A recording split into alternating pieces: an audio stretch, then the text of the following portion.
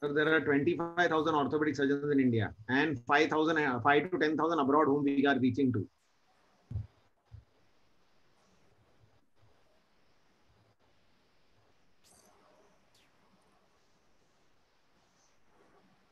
Look forward to this.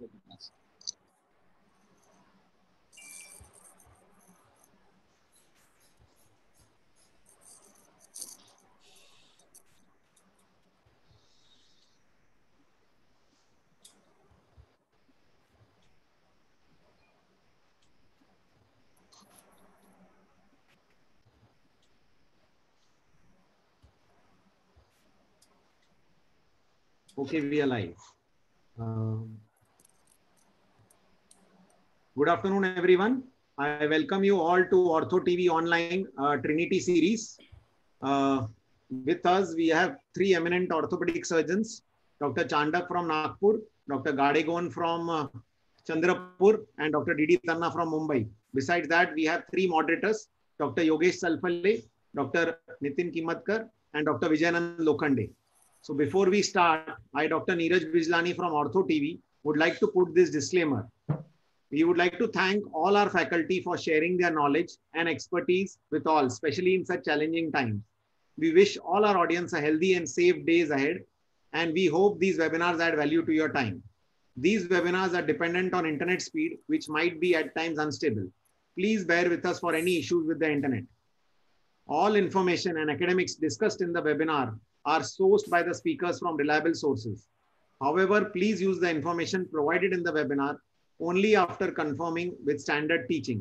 The opinions in webinar are for academic purposes only and are not a substitute to evidence. The speakers, neither the portal is responsible for any untoward events caused due to information presented in the webinar. Besides that, if you want to ask any questions, below the video on Ortho TV Online, you will see this box. And in this box, you will be able to uh, you will be able to ask your questions. Type these questions and we will put it to the moderator and they will be asking the faculty. So over to the faculty, uh, over to Dr. Chandak to start the webinar, please. Yeah, friends, whenever we get a fracture shaft humerus, there is always a problem in the mind. What methodology of fixation do we choose?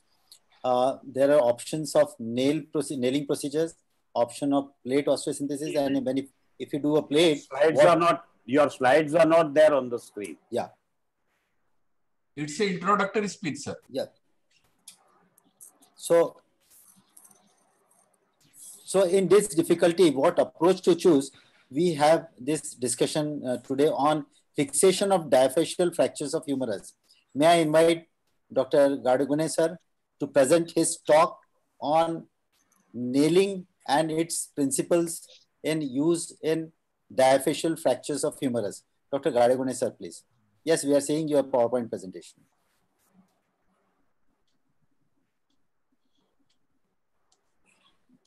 Thank you, Neeraj Bijlani and uh, Ashok Sham. And thank you, Chandak sir, Tanna sir, and three my colleagues who are coordinating webinar, Yogesh Salfade, Vijayananda Lokhande, and Nitin Kimatkar. Now I am sharing my views of I am nailing in humerus fractures. Humerus nailing principal pitfalls and pearls. Humerus diaphyseal fracture in adults, literature dealing with this topic over the past 30 years serve only to add to the confusion and controversy regarding the treatment modality. There is no unanimity regarding the method to be used as a gold standard treatment. Humerus diaphyseal fractures, transverse oblique spiral comminuted, Outcome of humeral shaft fracture treated by functional cast brace, 78 to 88% result.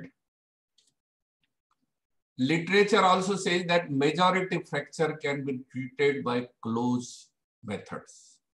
But in practice, majority of the surgeons opted for surgical line of treatment. And this is the experience all over the world. In modern era, external immobilization of whatever type are always nuisance, insufficient, and often completely ineffective.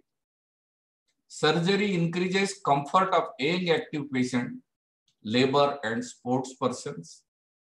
For older patient and obese women with large breast, for whom conservative treatment represents a prolonged torture for months together. Recently, good implants and precise instrumentation, surgical method is a preferred method. Plating is becoming more popular. Documented success rate is 96%. Cross view, interlocking nailing is not recommended as a standard method of management of humerus diaphyseal fractures. Because of the funnel shape of the humeral shaft, a true interference fit is difficult to obtain after nailing. Point against nailing, severe impingement, adhesive capsulitis, shoulder stiffness, intraoperative comminution, non-union. These are n number of complications are described in literature. Now see this picture. This is the transverse diaphyseal fracture of the humerus. You can see the nail entry point is wrong. Protruded proximal end and violation of the supraspinatus tendon. Mismatch of the canal leading to the fracture of the humerus here at the entry side as well as fracture propagation, ultimately leading to the stiffness of the shoulder. I want to ask to everybody and to the faculty as well as to the our moderators, who is at fault? Dr. Chandak sir. आवाज नहीं आ रहा आवाज नहीं so proper execution of the surgical technique has to be the first thing in all these fracture fixations and possibly the technique uh, employed was uh, was not uh, uh what it should be sir sir what is your opinion आवाज नहीं आ रहा Chandak sir आवाज नहीं आ रहा hello yeah yeah we can get your voice sir can hear you now now, now first and foremost, this point of entry is is wrong, and with the with the shaft of the femur, which was here, probably the nail was too tight, and that's the reason it is split. And now if you have gone there, there is no stability over here. The, the nail is out, so the shoulder is going to be the problem. And and in a lower down fracture, you can you, you cannot go really very low down. And that's the reason why there is going to be the here is the all what you will be able to end. So i feel this particular type of a fracture nailing unless and until you are really been mastered that like Gadegone probably is not indicated. Vijay Vijayanand, unmute yourself. Yes, I also agree on the point that the execution of the surgery is not even appropriate, is not appropriate. Therefore, the results are not going to be good. So, any surgical technique warrants an appropriate uh, technique. So, that is the crux of any surgery. So, you unanimously no, but but, but but I want to add here, with this sort of a, this sort of a communication which has occurred, there is a reasonable chance of this fracture healing up. Yes, sir. If it was only a transverse fracture, the chances are a little high of non-union. But now with this comminution occurring, I will not be surprised if this has healed up. No, it has healed up. Actually, I removed the nail also. Yeah, I think it would have healed up. That's yes. right. So it's a surgical technique which is very important rather than the implant. So now the another example, you can see the nail is not going up to the olecranon fossa, there is a distraction and proximal protrusion of the humerus head. So this is again I want to ask to the Nitin and Salphade sir, whether this is a fault of implant or a fault of a surgical technique. I place, uh, need to place my point that it is a fault of surgical technique. And it is a fault of training also of uh, certain surgeons which needs to be trained well in the nailing so that they should execute well, uh, good nailing and good surgical result out of it. Yogesh ji, Sir, as rightly said by Dr. Tanna, sir, nailing requires a lot of precision because you are working from a very smaller area, you are getting a length right, you are getting an alignment right, and you are at the same time, you have to keep in mind that humerus tolerates distraction not adequately as you can see in other bones. So the moment it is distracted, your results are bound to fail. So this is the basically a issue with the surgical technique which has been carried out by we don't know. If I can, I can, like Gadegone, if I can talk about it. yes, yes, yes. At this, at the end of over here, probably the nail got jammed. Yeah. So when he tried to hammer it out down, you got a distraction. Nail will not go down any further because it is a, the whole thing is becoming triangular here. And there's a reason it will not go down further. And because it was jammed, the surgeon, because I presume there is no surgeon is going to keep it out like that. Exactly, sir. Any, any surgeon. So this is got jammed here. He tried to push it down. It got distracted. He couldn't take it out because it is jammed here. And then poor chap had to leave it like this. I also have two cases like this, which I'm going to show at some stage. Okay. So I believe. Okay. Anyone to anybody wants to comment? Yes, yes, yes. I have uh, just wanted to comment that many of the surgeons actually uh, doing humerus nailings, they actually think that uh, doing a humerus nailing is exactly the same procedure as doing a tibia nail or a femur nail. So they, they do not know the importance of uh, the anatomy, which differs between these bones, and the placement of a very appropriate implant. A femur nail proud by one centimeter does not make much of the issues, but I think some people actually they are not as said by sir that they are not very actually appropriately trained in doing this humerus nailings and this is the reason such complications do occur Okay, sir. So I believe that all surgical techniques are good if well executed. Modality could be reduced with proper surgical technique. Is it right? Yes. So the methods of nailing, there are two methods of nailing, antegrade and retrograde method of nailing. Antegrade versus retrograde nailing, humeral shaft fracture prospective study. Antegrade and retrograde nailing have a similar, similar treatment result.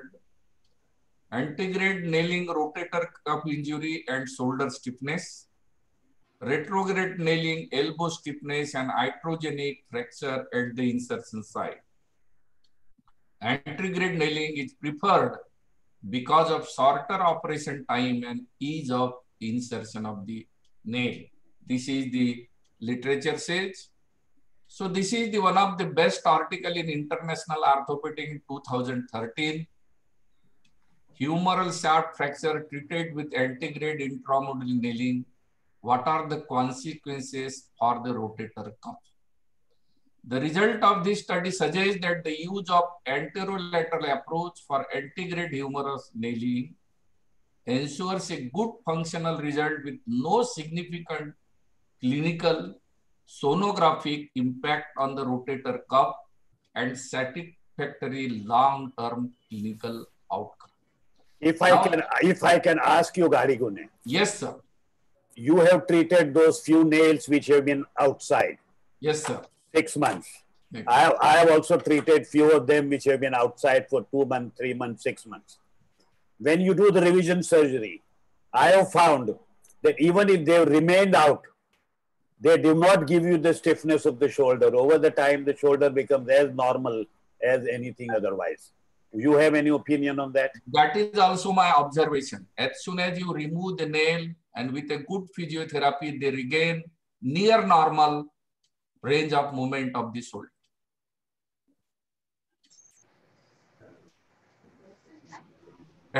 Humerus nailing, technique of IM nailing which prevents rotation and can be used in unstable segmental and comminuted fracture.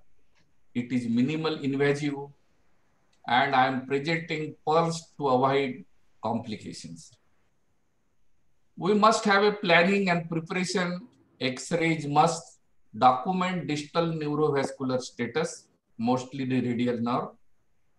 Determine the length and diameter of the canal. That is the most important thing. As I said, Tanna sir previously, that the surgeon has probably could not negotiate the nail till end and therefore it was outside the articular surface. So therefore we must determine the diameter and must ascertain the length of the nail which is required. The nail is measured from the greater tuberosity of the humerus to lateral epicondyle and 2 centimeter is deducted. That is the nail which suffice in length. Principal position of the nailing in humerus is beach chair position. Majority of the surgeons do it. But the surgeons like me also do it in a supine position where bump underneath the shoulder, which also gives a good position. Supine with ipsilateral shoulder at the edge of the bed and pillow underneath, extend shoulder by 30 degree, which gives a good visualization of the greater tuberosity as well as the articular surface. Good access from the end of the surgeon. Disadvantages, difficult to locate the distal locking hole due to rounded, smooth anatomy of the anterior distal humerus under C-arm and fear of neurovascular complication in both antero-posterior and lateromedial locking and that is to be taken care by the surgeon. I also propose a newly a lateral position which is not very much described in the literature and textbook.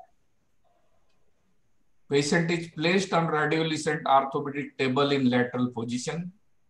Patient body is secured with well-padded side supports, appropriate head neck elevation for adequate airway, lateral position of the patient, these are the various images you can see by just rotating your forearm at the elbow and you can see the olecranon fossa lateral picture as well as the good view of the greater tuberosity, lesser tuberosity and sulcus.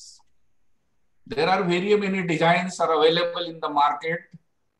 Design rationally 4 degree Herzog curve, multiplanar proximal locking system with proximal straight nails, proximal bent nails.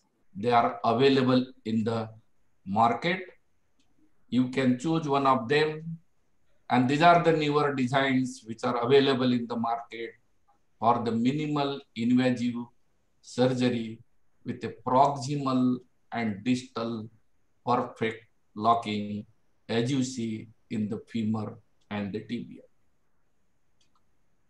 There are two, three entry points. I want to discuss anterior entry point supraspinatus sparing.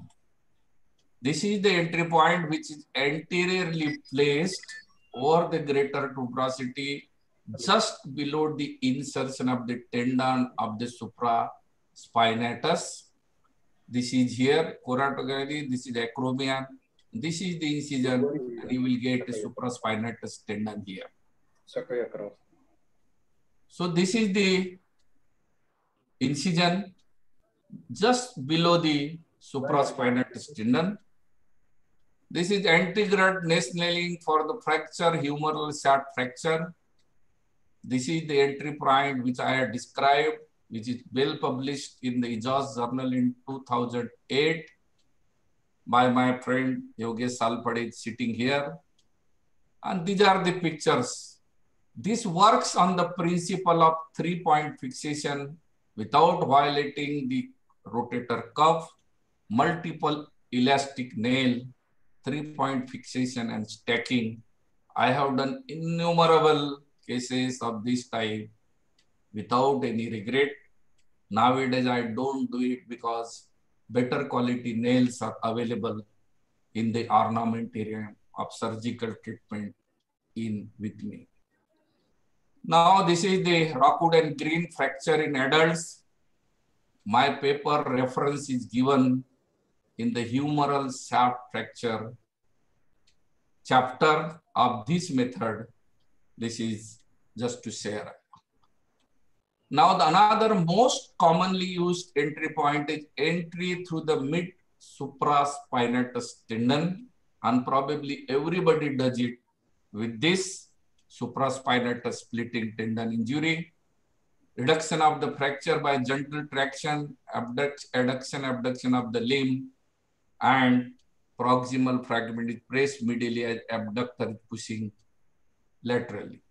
Entry polter anterolateral approach to shoulder, incision 2 to 3 centimeter, deltoid muscle split in line with its fiber, subacromial bursa cleared, then supraspinatus uh, tendon incise, incise in line with the fibers of the supraspinal. That is the most important thing, but otherwise you will produce maceration of the muscle fiber and tendon and it will heal by fibrosis and ultimate results in the stiffness.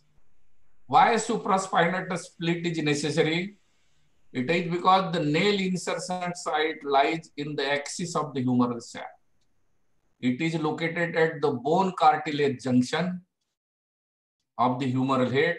It is not more lateral to the greater tuberosity and it is slightly anterior to the center of the greater tuberosity. That is the line. Mark the anteportal with K-wire. Bone hole is introduced under C-arm control just medial to the greater tuberosity. Over the guide wire, proximal canal is enlarged. Reduction guide wire insertion under C-arm image. Mark and then reaming to accommodate larger nail. That is the most important thing. Fracture because this area is a narrower area. Proximal area is a roomy area. So therefore, if you want to accommodate larger size of the nail, it is always better to dilate this narrow canal of the distal humerus Reaming is done to be able to fit thicker, stronger nail, better done with flexible power reamers. Always start with the smallest reamer as per the size of the medullary canal. You can start six, seven, eight. Nine is the maximum because our Indian humerus, they accommodate 7 mm nail maximum majority of the cases in osteoporotic only there are eight or nine in there. Always ream over the guide wire. Run the reamer only when there is a resistance, otherwise it's just pushed it. Do not ream across unreduced fracture site, otherwise you are going to injure the radial nerve. That is the most important. Reamer control should be with the surgeon and not with the assistant. Reduce the fracture using traction, varus valgus, and rotational forces applied manually and gentle introduction of nail and avoid hammering to rule out the fractures. Nail as a reduction, sometime it can be used, but don't blindly fiddle at the fracture side. Otherwise, radial nerve is just by the side of the fracture and you are going to injure the nerve. The nail should go to the tip of the tip of the nail should go at the fracture site and you just manipulate the distal fragment over the nail tip and then push the nail inside. Distal locking freehand, aiming device, avoid injury to the neurovascular structure, vertical incision lateral edge of the biceps, splitting of the brachialis muscle, and then you do a distal locking first by a 3 mm pin and then locking bolt. Drill the posterior cortex with K-wire and then enlarge with the drill and pass the screw. Use one or two screws no gap at the fracture site is acceptable. That is the non-union machine, fracture gap. Now this is the example, a spiral fracture of the humerus, nailing is done and anteroposterior locking, one year follow-up, full function. Another example, this is the fracture diaphyseal, nailing is done and perfect restoration of the anatomy. But you can notice here, there is only single locking in the proximal and distal. It's not good enough for the locking. It's because the locking here, it is in the cortico-cancel, only in the cancellous bone. With rotational movement, the loosening of the screw occurs because of the osteolysis around the nail in the osteoporotic bone and the nail construct becomes unstable. Therefore, multiple locking system is better. Now, summary of the lateral position and posterior anterior locking. This is the lateral position. This is the guide wire, reaming of the canal, and guide wire insertion under the protected sleeves. And you can see nail and reamer right up to the supracondylar. This is the most important step.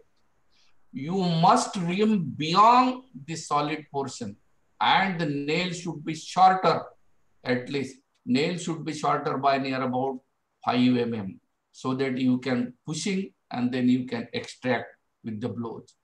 Posterior surface of the humerus is flat with less musculature. Hence, positioning of the drill and locking is easy. Distal locking during freehand distal locking is very easy to execute. And if you want to see how I do it, under C-arm, directly or the 3 mm K wire, you can go to the hole and do the distal locking.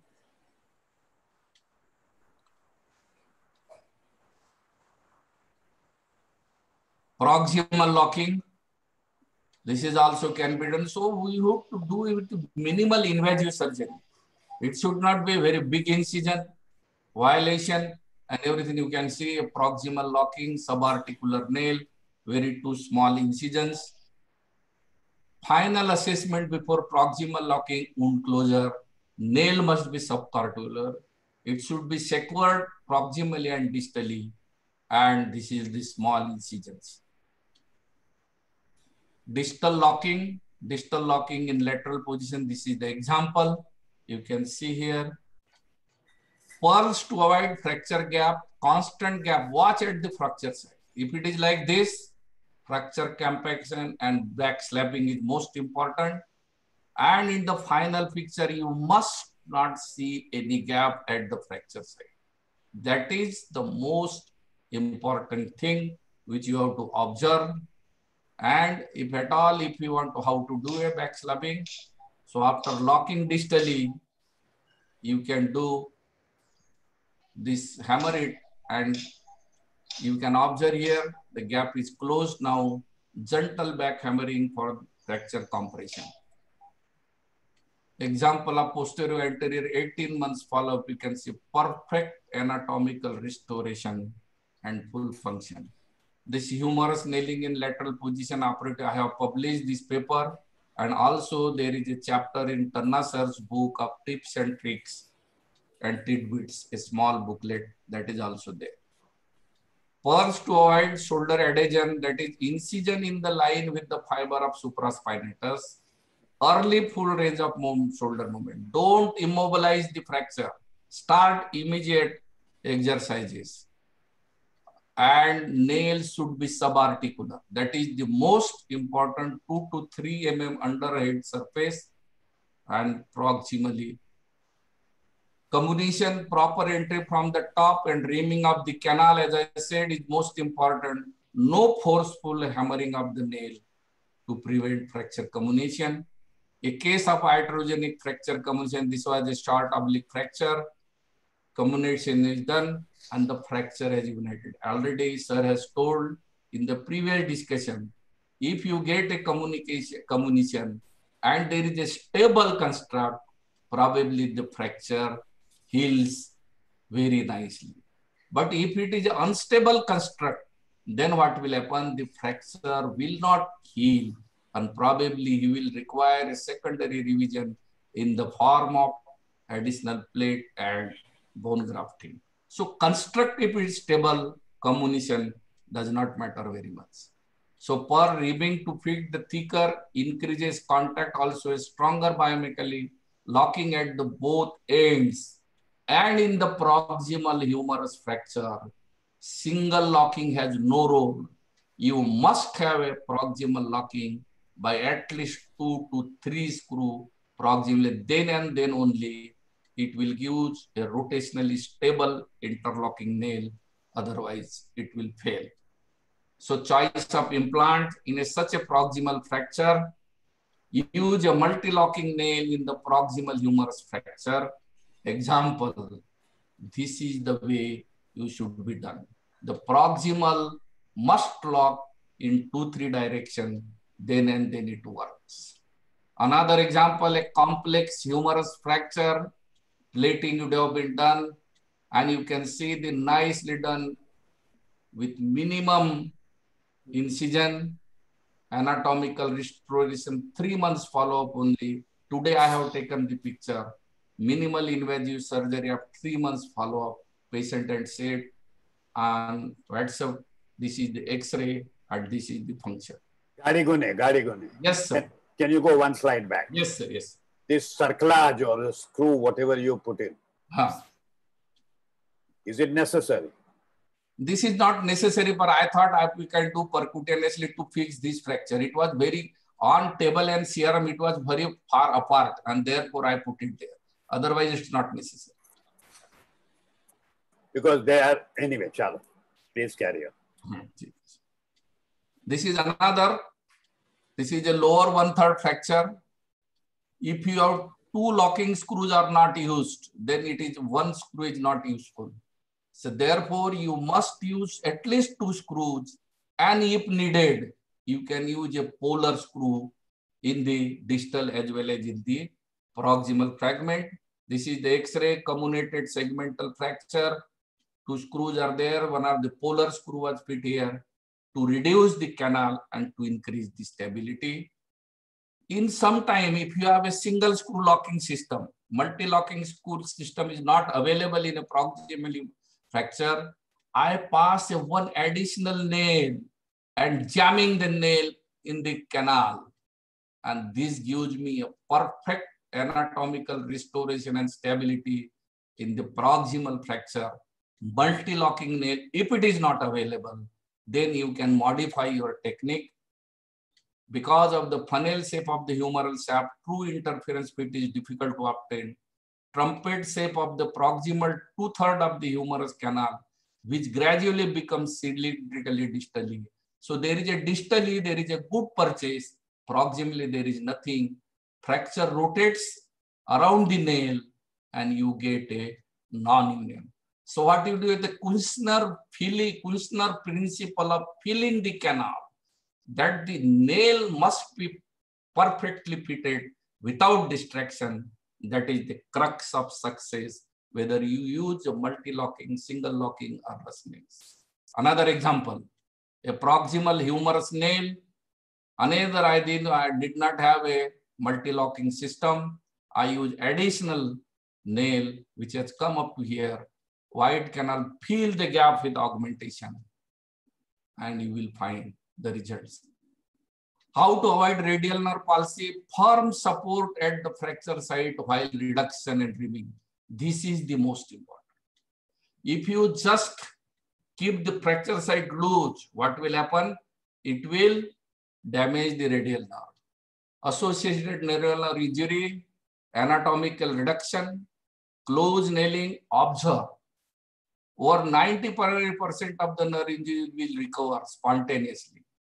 Non-anatomical reduction, open reduction, and nerve exploration.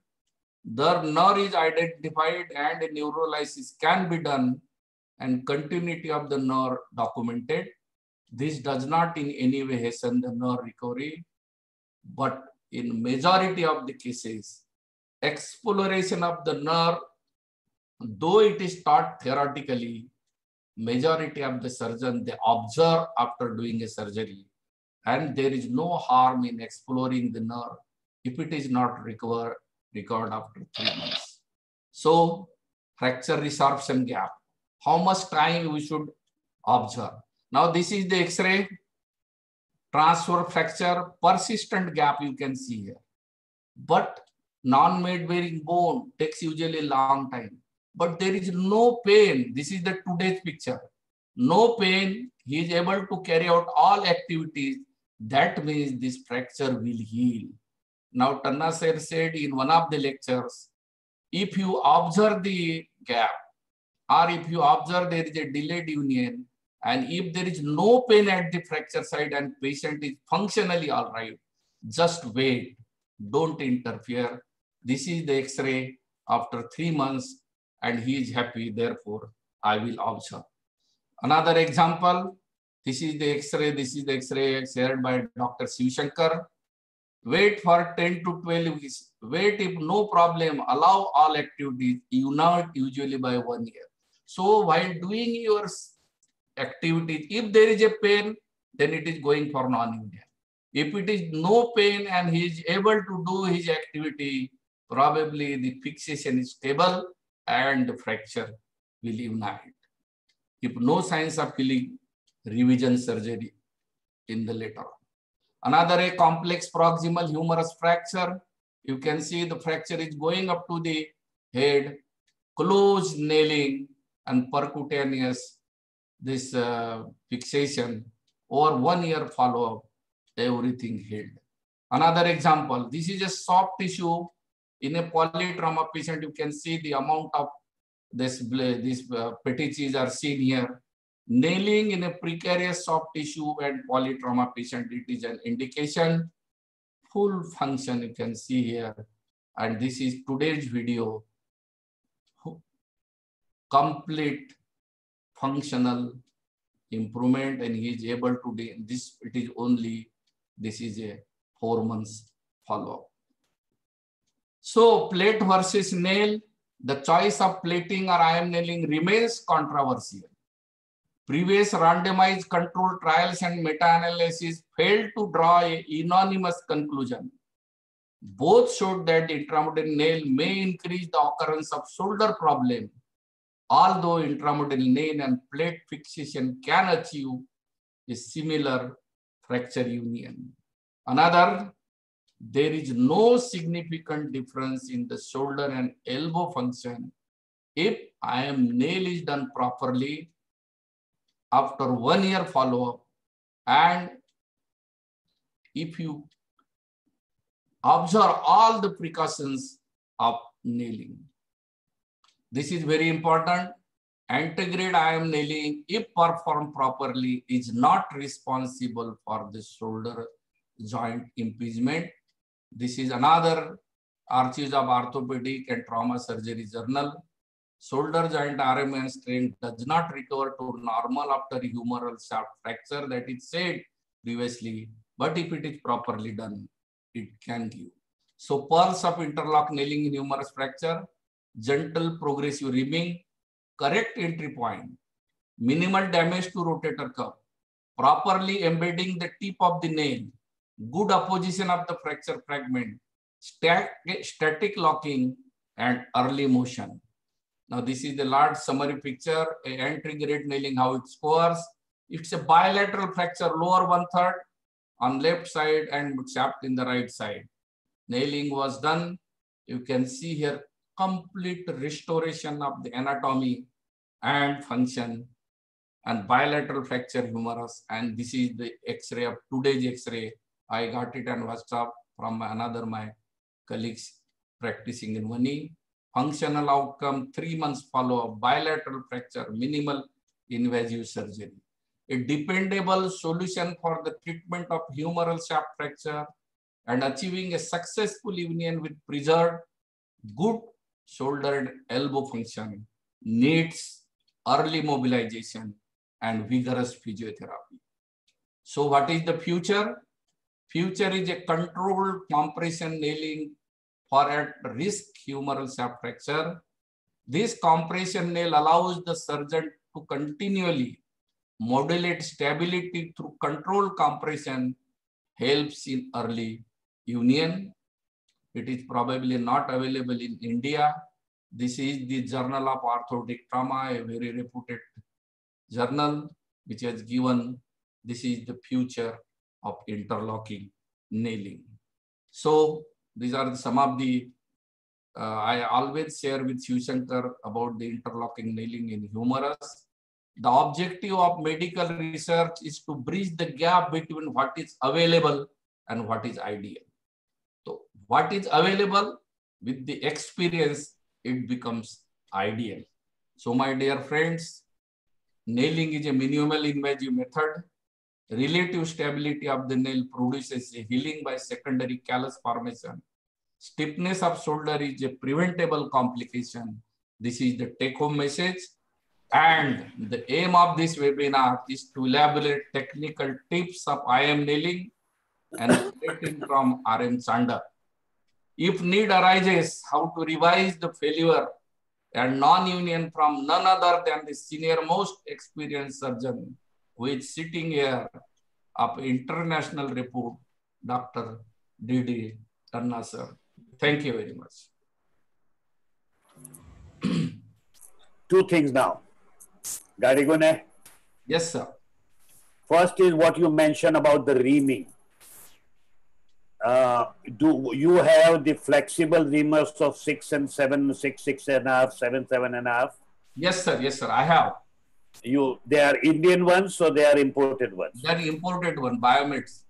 Biomedic. Because I don't think the Indian one, even the they are available. No, no, they are not available. It is only in Zimmer and Bio, Biomet, Zimmer Biomet. They are the only ones who have that. Even Synthes has a hand reamers. They do not have a power reamer, which is flexible.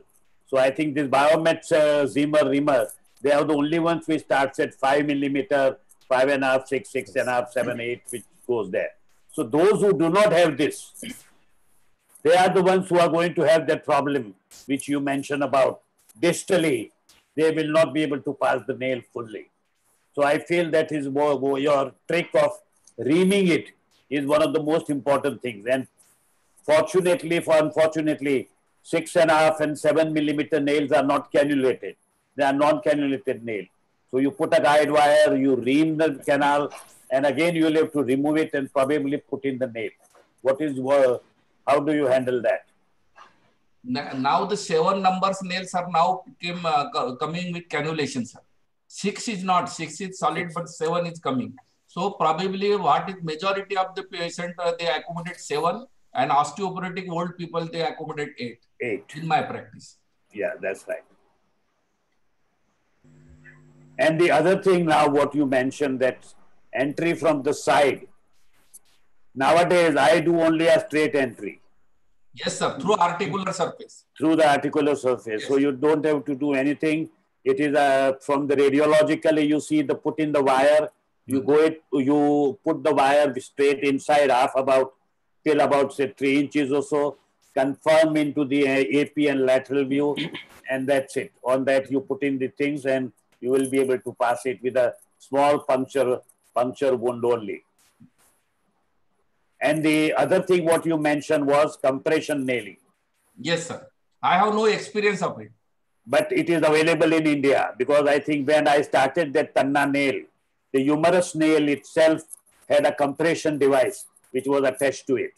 The on- only thing what would happen is when the compression nailing, if you are aware of, you put in the nail into the proximal dynamic hole and then the device which is there from the jig, which you go on pushing that screw distally. So automatically it gets compressed. And at times it happens that if the if the force becomes too much, the nail itself will bend. But once you got the compression, then you put that screw into the static hole and you will be able to get that compression. It was also available in some of those imported nails, but now it is not available any of those imported nails available in Bombay. So any questions from the moderators? Any questions are there? on Uh, box? Any questions? Yes, sir.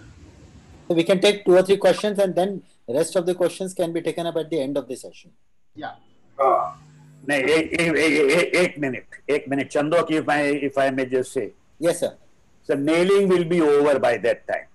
See, the, then the people will forget about the problems of nailing. So if at all you want to discuss the nailing, So all Because he- questions we can take up. I think we, we should take the Yeah, yeah. nailing questions. No, no, now. absolutely fine, sir. I, this is what I propose. You Yes. are the you are the moderator. No, you no, no, no, no, I think that's perfect. Absolutely perfect. So go ahead with the questions for uh, Gadegone, sir. Yeah, uh, there's a question. It states that uh, you have very well uh, described the technique of uh, humerus nailing in a lateral position. It has uh, absolutely made distal locking very easy. But if we see when we do it in a supine or a beach chair position, we actually place a bump beneath the shoulder to translate the proximal humerus anteriorly so that we can get a very appropriate entry. So, what is your take of the same technique in a lateral position? Does the acromion actually come in between while you get an entry, or what are your? Uh, how do you manage it? If the lateral position, if you just extend the shoulder by near about 15 to 20 degrees, the acromia, the whole anterior part will come out. So there is no problem. So you can maneuver adduction, abduction, flexion, extension. There is no problem in the lateral position. So depends on your head. There is no problem it. Even in a supine position, if you are not careful, the acromion can come into the picture. As a matter of fact, with that K wire, you you feel the acromion, and you just go just touching the acromion. So it is how it is. So in a, whether in a lateral or AP, I don't think it would make a difference. In a lateral position, very rightly as we mentioned, it's much easier to do it from posterior to anterior, which we are all those of those of us are doing in supine position. We have to go from anterior to posterior. Okay. Any other Uh, question? Yes. Yeah, there is another question. It states that uh, many people advocate not to use a humerus nail less than seven millimeters within uh, the humerus canal, as the nail becomes too weak, and also it does not give appropriate stability. And uh, many people still think that getting a reduction, passing a wire, and passing a nail is not of much difficulty in humerus as compared to thigh and leg fractures. So using a solid nail, does it solve the issue? As it gives the stability also by increasing the thickness of the nail, and you can also pass it easily. Biomechanically, it is studied that even a 6 mm solid nail also does not give enough support and breakage of the nails are a common occurrence. So if you are able to pass a 7 mm nail, it's good enough. 6 mm nail, if it is going there, then you require protection and so many things. Better to do plating than nailing because actually nailing, whatever the on the table, two things must be there. You must have a nail set as well as the plate set. It does not mean that you are going for nailing and nailing only. You have to change the plan. If you are not able to negotiate and some problems occurs in doing nailing, you can straightway convert to the plating and you can take the consent of the patient. If it is done 99%, I will be able to do nailing. And if it is not there, I may convert it into the plate. And it is a myth, it is a myth that the solid nail is stronger than the cannulated nail. Yeah. Yeah, As a matter of fact, biomechanically, it has been worked out very well. Cannulated nail is stronger than the solid nail. Okay. There is a question from delegate. How do you measure the length of nail? How we do measure? On the normal side, from the tip of the acromion to the lateral condyle, tip of the lateral condyle, subscribe near about 2 centimeter. Subscribe about 2 centimeter. And if I can, if I can suggest to you, which you have mentioned it, probably you have forgotten to say that, when you are going to back slap, the nail is going to come out. So you will have to push the nail a little more inside, so that when you back slap and the fracture collapses, till the nail is going to remain inside the humerus. It will not come out. That I is think- most important. Yeah, it's most important part.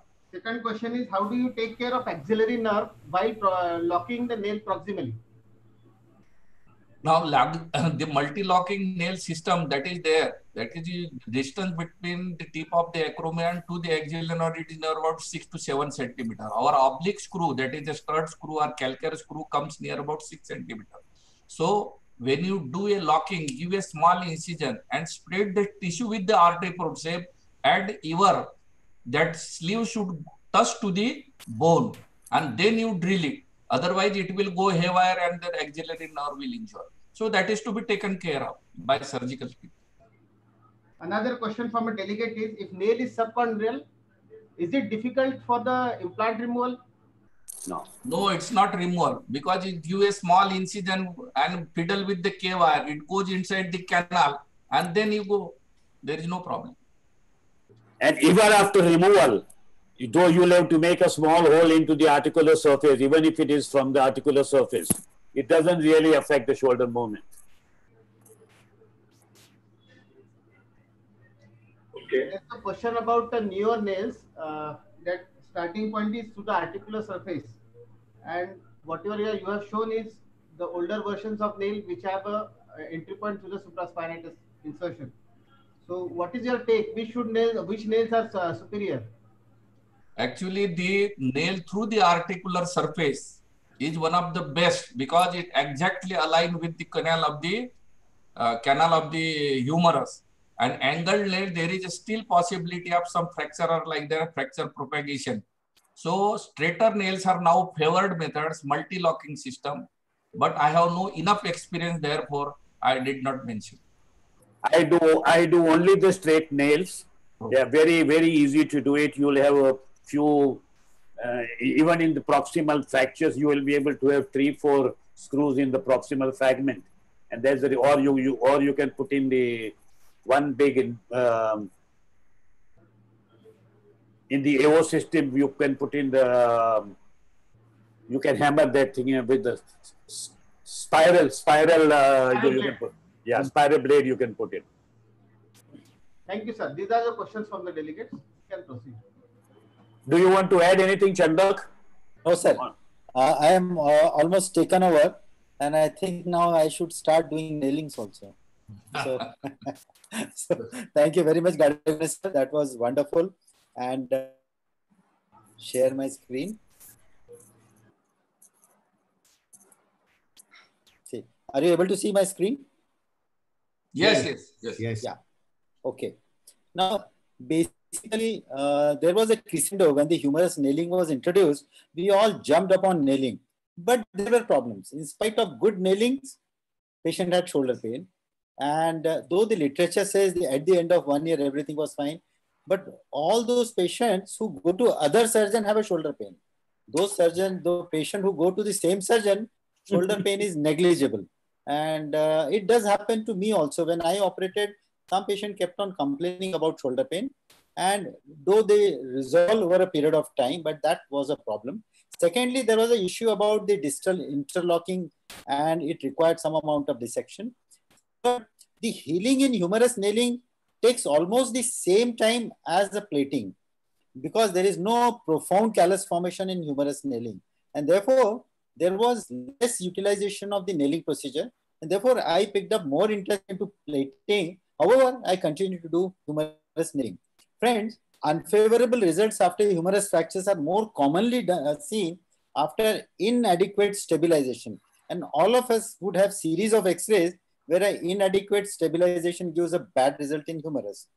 And even after a plate fixation, you would have inadequate stabilization. Like here, even after a good stabilization also you have non-union. So look at the fracture, it was well compacted. The entry point problem was not there, but over a period of time, this transverse fracture went into non-union. So there are problems associated with nailing procedures where plate may offer us some solutions and that was converted to a plate fixation which healed well. And many patients, even after a plate fixation, have delayed union and problems so in a well done case and also in a well done case with plate, we may have problems. And that is the reason why conservative treatment in humerus had a relevance. The relevance of uh, conservative treatment is definitely there. Let us consider simple conservative measures we all can employ. Sling and a swath. The sling supports the elbow and the forearm the simplest sling is a triangular bandage tied behind the neck. And many patients from village folk come down with simple swath and the swath wraps around the humerus and the chest. shoulder immobilizer, uh, immobilizers are available in these two or three different forms and they are also effective for initial first aid or as a method of treatment. Even patient themselves splint so well. So friends, we also can definitely apply a well-fitting plaster to give a conservative treatment a chance. Gilchrist bandage is another way and, and many patients with a conservatively treated humerus fracture can give us good result. That is the why still maintains that conservative treatment can be done for humerus fracture. Collar and scruff, I would say, is desirable when a gentle traction is expected to improve fracture alignment. So position your cuff and collar well. It can, can usually be delegated to your subordinates, but teach them what angle you want the collar and cuff. Arm sling, this is the best way. It avoids distraction at this shoulder and usually in a deltoid attorney at this fracture fixation, this is of use. And a shoulder abduction cushion is useful to prevent varus in the distal third fracture if you are treating conservative. And the initial treatment with plaster application, you take care of these two things. The plaster mold in abduction is important. And also you can add a valgus uh, strap. This is how it can be.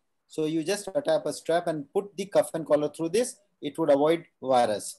This is another way to tackle varus. So friends, if you tackle varus and you give comfort to your patient during initial few days, they're miserable. So they have to recline this. All the patient treated in our hospital with conservative treatment. And let me be uh, frank, I treat humerus quite commonly conservatively. And two things I do. I have five to six backrests in hospital. We allot them the backrest when we are treating them with conservative because that is absolute essential to keep them in this gravity reduction position. And use of counseling um, templates are also important because once a patient sees the check x-ray, they are not happy.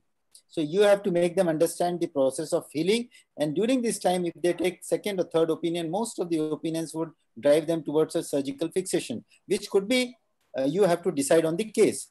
So these are patients who are very happy after the conservative care. You just need to take care of their varus. If the alignment comes in varus is not there, this was the orthopedic surgeon who was treated with a conservative treatment and he was happy and he himself designed a dress for um, the use of the patient with conservative care. In conservative care, one good thing is you see good amount of callus. That is a universally observed thing. Therefore, functional bracing is this is a non-operative standard treatment.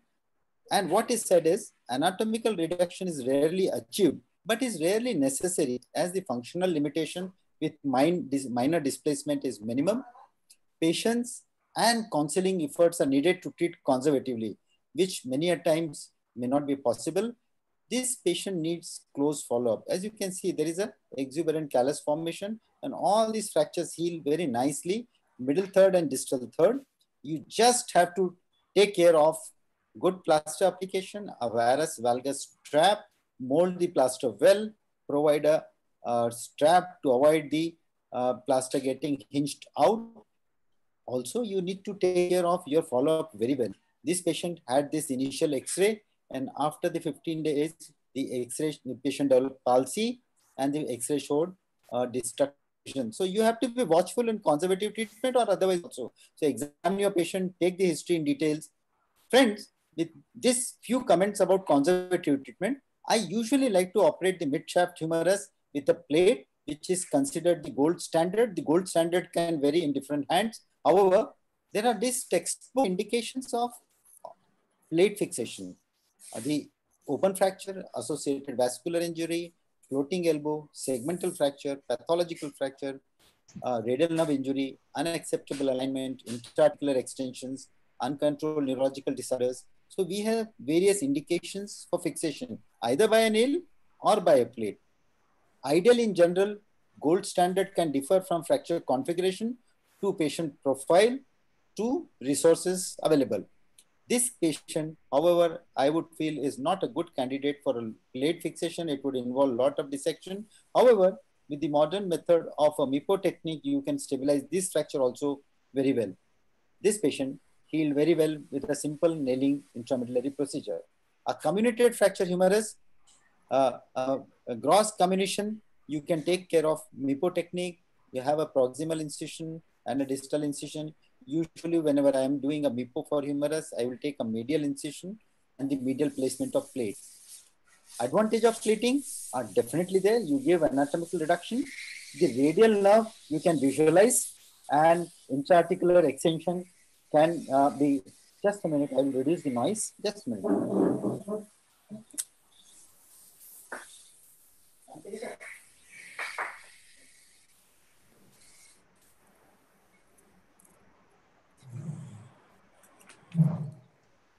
Sorry for that interruption. Uh, the advantage of plating are definitely there. Commonly, I utilize the anterolateral approach.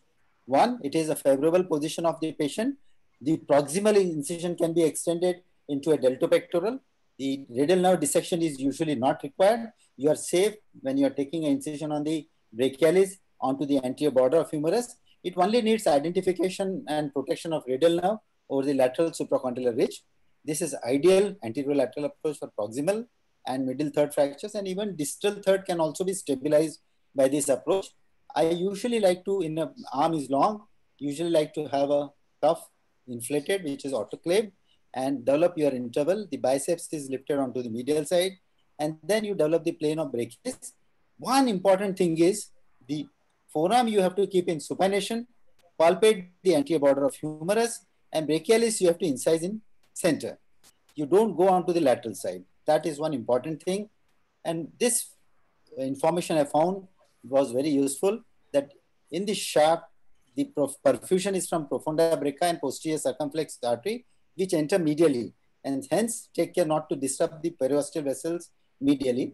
Avoid radial nerve injury while anterior is important. So incise on the anterior brachialis onto the anterior border. Prefer to be on medial side. Avoid a bone lever onto the lateral side. Retract the biceps medially. So no bone levers onto the lateral side. You will find Mr. brachialis, the uh, twig from the uh, musculocutaneous nerve that you can incise or you can slit your plate below this also. Use point reduction clamps so that you are not required to hold the bone circumferentially with large clamps. Avoid bone levers onto the lateral side. These are important things to use in an anterolateral approach. And one important thing I usually like to emphasize is use of double gap, triple gap, and a single gap plates, though they can be custom made. What I mean is this is a LCDP, DCP, this is a single gap plate, this is a double gap plate, this is a triple gap plate. Now they are helpful when we are plating across the comminution zone so that we are a bit less worried about the stress rising effect on the plate. I also keep standard 12 mm and custom made 14 mm DCP or LCDCP ready because some humerus in have variation in size. Some require a bit broader plate so that the plate is stable enough. Also in anterolateral humerus plating, you have to take care of bow of the humerus and it requires a, a adaptation to the contour of the bone. Like here, you can see the plate in the lower part needs this gentle curve here. Also, on the posterior aspect, if you take a posterior approach, the proximal and the middle is well applied. Distally, the plate requires a very small mold. So take care of these molds, bends, and the size of plate. Addition of cancellous bone graft at times is advisable if inadvertently there is a gap. So contact has to be essentially very good. The best for transverse fracture is compression plating so that there is no gap at the fracture site. However, if you find at the end, if there is a gap remaining for whatever reason, I would like to graft that patient to have a good union. Avoid screw at the fracture site. That's important as in this patient, there was a screw here. We have to avoid that. This is an orthogonal screw where I put a, for this when this was revised, orthogonal screw is putting the graft onto the other side. The humerus anterolateral approach or posterior approach. Posterior approach is recommended for distal humeral fracture or middle third. You can have a good union with posterior approach as well. Here you just need a small mold. This is the posterior plate. As you can see, it applies very well here. But in the lower third, just it goes a bit away. So you can uh, manage, you can put on the positioner for the posterior approach. And when we put this up, just tilt the head up so that the hand doesn't fall off from the posterior support. A classical triceps splitting approach is used in posterior approach. In the uh, this is usually the position. You just dissect out and uh, uh, dissect the radial nerve. A Gerwin's approach is also available. I'm thankful to Dr. Sanjay, whose slides you can see. In this approach, posterior approach, you have to identify the nerve very well and pass the plane in that. The advantages of plating are that you are taking care of the fracture side so that inadvertent nerve is not trapped in the fracture side. That is one big advantage and especially after a closed reduction or a nailing procedure, if there is an inadvertent radial nerve palsy and if the situation demands and you are going to open up, plate to me is a good uh, choice. If patient has a radial nerve palsy, electrodiagnostics are important, but they are useful only beyond three weeks. If there are regenerating potentials, they are helpful in predicting the recovery of the patient. The indication of a early exploration after a radial nerve palsy, they are there. It depends on the counting and the sessions you have with patient. A open fracture with vascular injury, where the nerve palsy is there, you are going to obviously see that. And those associated with bad soft tissue injuries, and if patient has a palsy and you are plating, you can see the nerve. Uh, however, even if you explore, usually it doesn't require a repair. Most of the times it is contused. This patient had a nailing and a palsy, and the exploration did not yield much. The nerve was found to be con contused, and the same thing was just closed with neurolysis. It would take its own time. This I'm sharing from one of my plastic surgeons colleague uh, photographs. Uh, a compound fracture, when when we manage a compound fracture, uh, this was a patient who was referred by an orthopedic surgeon. The patient, after three, four days, oozing and discharge from compound side. So I like to stabilize these uh, fractures with a plate with an antibiotic coating of 4 grams of uh, vancomycin and colistin. And then that acts as a Masquelet membrane at six weeks. This is the uh, additional cement on the other side. You revise at the end of six weeks. This patient's wound healed very well without any issues. And at six weeks, you can put bone graft in the induction membrane. The healing is quite good after this fixation. One thing common in all these failures of humerus is uh, inadequate size of the plate. So at least usually I would desire four proximal and four distal. In a very distal third, yes, you can be satisfied with a three-hole distally. So the lack of extensile exploration, and this is the advantage of anterolateral approach, that you can extend proximally as well as distally. In a posterior approach, you might be limited with the exploration, but in anterolateral, we have extensions proximal and distal. Plate very well manages the problems of nail. The plate, you can have extension, you can provide stability, you can have bone graft. The nail has double disadvantage. At times, this is proud here, but even with a normal place nail also you have you may have pain. Also, the other problem of stability of rotation. And occasionally in a nail, you find this funny finding of ballooning up or funneling and which can be taken care of by plate. So plate serves very well when the nail fails. But with the failures of nail, you have to revise with plate only. Failures of plate cannot be revised with a nail situation. And beware of infection in both of these modality. So what I'm trying to do, um, uh, emphasize is we have problems with nail, we have problems with plate, both have advantages and disadvantages. Choose whatever gives the best in the given scenario. Beware of infection in both of them and, and at times initially everything goes well and you find an infection at around four weeks, six weeks down the line. Don't wait, immediately explore and tackle the infection would be the important thing. The nail has a disadvantage of stability.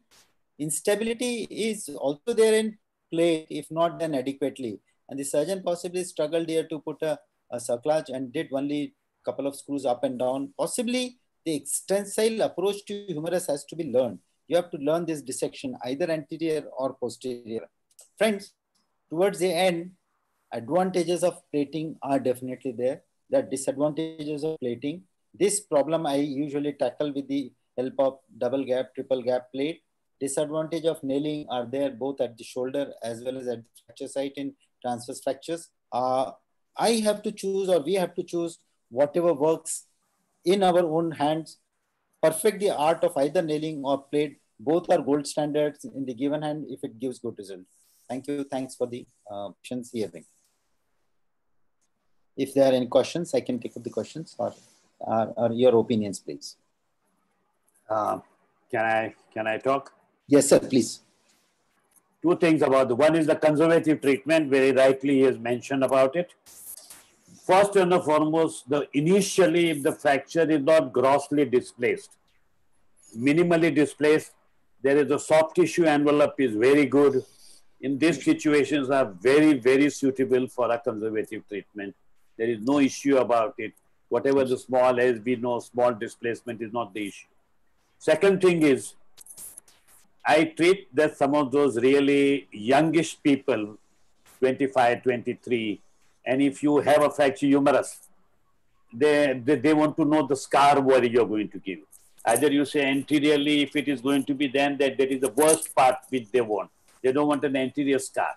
If you say that that means the posterior scar, then you, when you show them the scar, अरे बाप रे इतना बड़ा scar आएगा.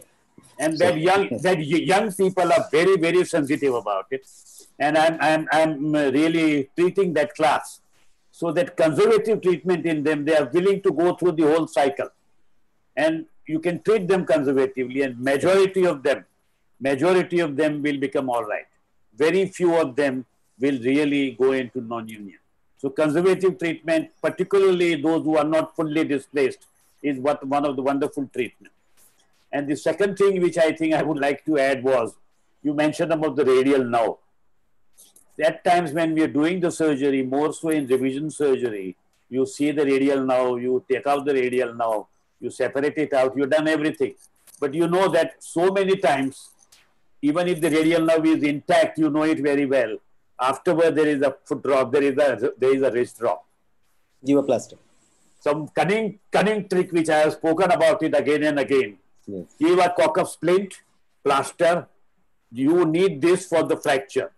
Let us see after two days, three days, you see it. Then you see the patient. Now it is everything is fine. Your X-ray is perfect. Everything is all right. Now we can remove the plaster. Yes. I think I have spoken about it and it Yes, sir. works it works most of the time if you see there is a there is a wrist drop you need the plaster for six weeks and you can carry it on and you know very well that it is going to improve sorry this is a little uh, dirty trick but that is the trick which is there in any case And it is useful as well. i think it is very very useful Yes, sir. Yes. Yes. Uh, can I have a question, sir? Yes, sir. Please. Uh, yes, sir. Uh, you have described uh, very well the dating techniques, uh, also the Gerwin's approach. Uh, but it has been seen that uh, when a surgeon starts doing Gerwin's approach, it is not very easy for him to find, find the antebrachial cutaneous nerve and uh, trace it upwards to find the radial bundle.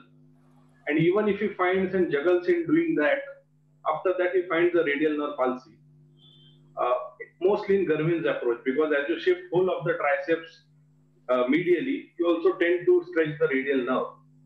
So personally, I feel that in this approach or any approach of the posterior humerus, it is very important to mobilize the radial nerve and also to slit the lateral intermuscular septum where the nerve enters anteriorly so that it is even more mobilized.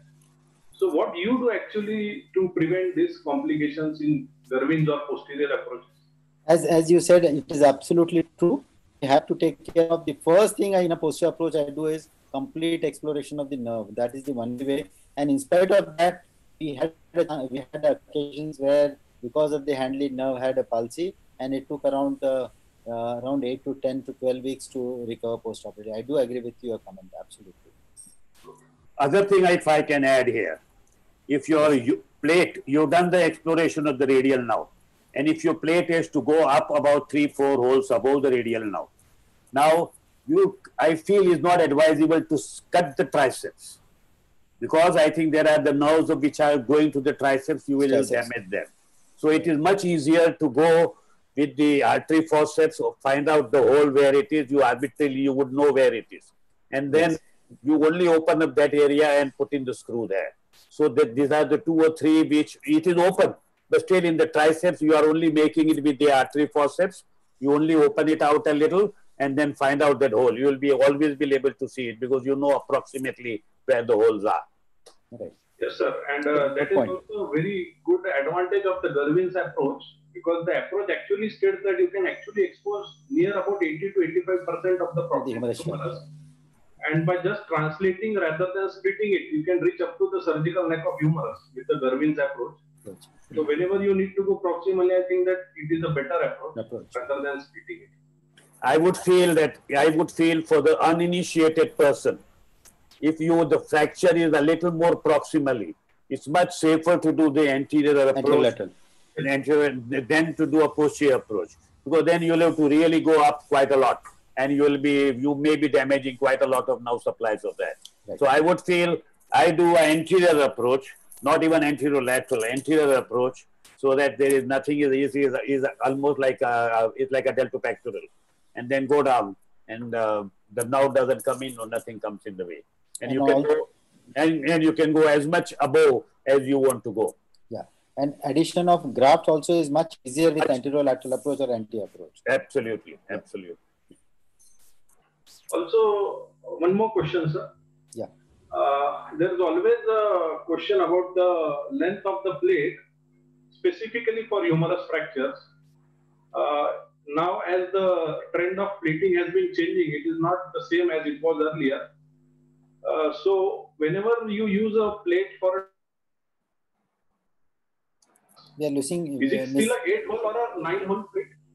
Uh, as you rightly said, prefer minimum four hole proximal and four hole distal. What I do is I use a double gap, so it becomes the length of the plate is equivalent to a nine hole or a ten hole plate.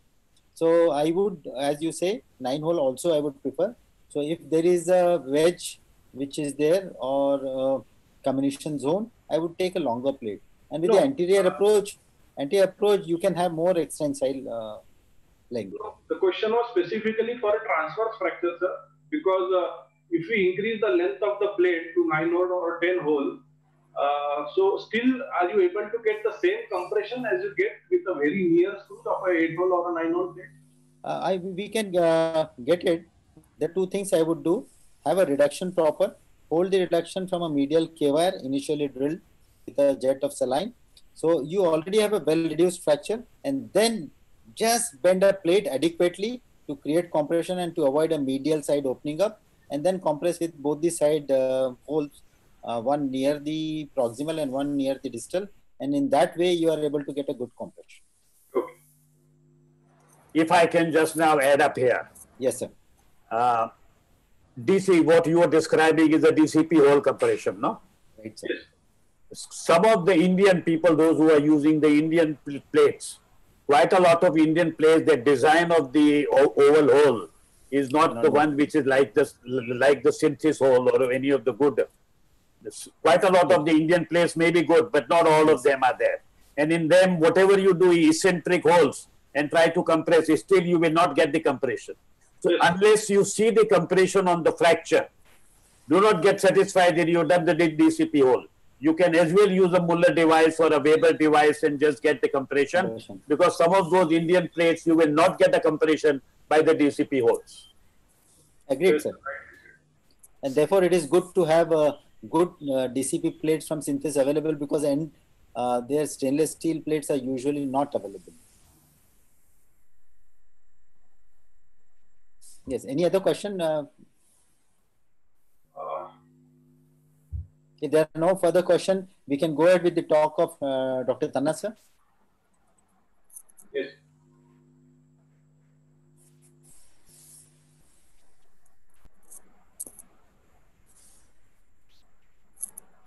Shall I proceed? Yes, sir. Please.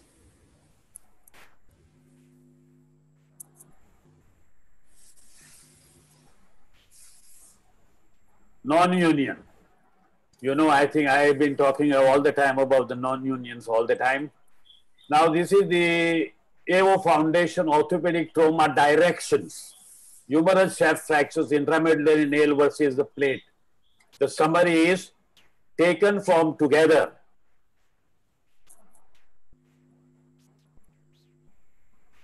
Taken from them together. uh, these reports suggest that intramedullary nailing resulted in more complications compared with plate fixation for the humeral shaft fractures, particularly when the antegrade approach was used. And there is another report which is with 2009 rock intramedullary nail versus dynamic compression plate.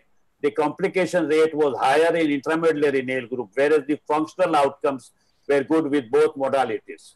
The Rüedi, Thomas Rüedi, my personal experience, however, favors the plate as it comes, seems to give consistently good functional outcome with the minimal discomfort and low complication rate.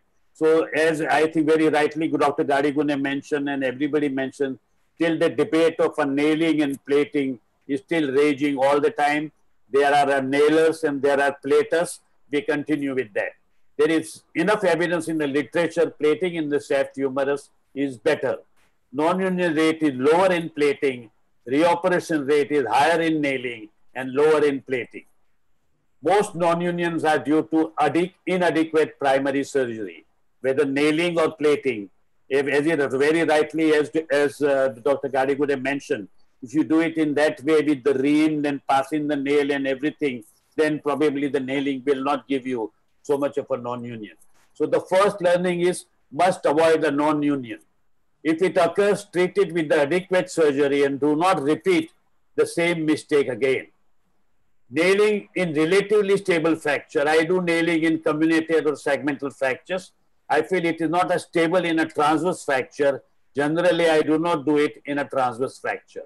Now, in this fracture, still I would do a nailing. This is the ideal treatment. Or nowadays, what we talk about is the uh, is the plating. It is the MIPO plating which has also come out in a big way.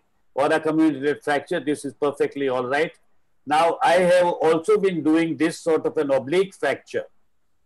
I pass the nail, and as I said, I hold the fracture, I pass the nail, the fracture is well reduced, and put in the two lag screws from the anterior cortex. And there it is, you don't need the distal locking also. You already stabilize the fracture, and somehow in this sort of a proximal fracture like this, where it is, it is that if you earlier phase, particularly where there were no uh, the nail which are available now with a multi-local option were not there. This is what I did it in those days. And this is, as you can see, the fracture is completely held up with normal anatomy. This is the second patient, the same things. And you can, you can get the whole reduction. And this also becomes perfectly all right. This is the, the compression is been achieved outside the nail, obviously, and you can see this very well. And this thing also heals up extremely well. And you know, this is many, many, many years back. I, this was the fracture. And I treated this in those days where there were no nails and no plates. And I'm talking about 40, 50 years back. I remember this. This is the one I had put in the two lag screws or whatever that time we used to call it, not a lag screw, but just a it was a position screw and it was neutralized with this uh, rush nail and still the fracture heals up. Now, all of us know very well that this is the one in a traction view. This is ideal for a plating and the, for a situation you just do the plating. This is ideal now. I don't think anybody debates that. And it has been so beautiful. It has been spoken about by Sergio from Brazil. And this is the one which is, it works almost every time you do not need many screws. You need two screws there and two screws there, and there's going to be more enough. You do nothing over here.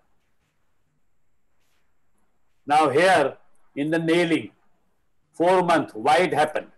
We already discussed just now, the nail is jammed here. The surgeon tried to push it in.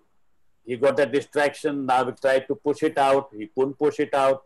And these four months have passed by and this is what is the situation. Now, how can you treat this? And what will happen. If I can ask the three moderators who are there, because I'm sure all these cases have been seen by Gadegone and uh, Chandak. Yeah. Uh, so if I take up the Gadegone, sir, you are speaking? Yeah. Huh? Gadegone, yeah. No, no, no. You, you, you, you, no, no, if you, you people are disqualified.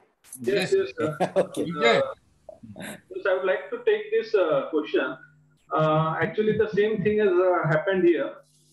that the nail was not, uh, it was not done appropriately on table. So now the fracture is distracted. Obviously, this is not going to heal. So it needs some form of revision. So already the patient might have seen many of the surgeons here and there, and it would be safe to just remove nail and do a compression plating again.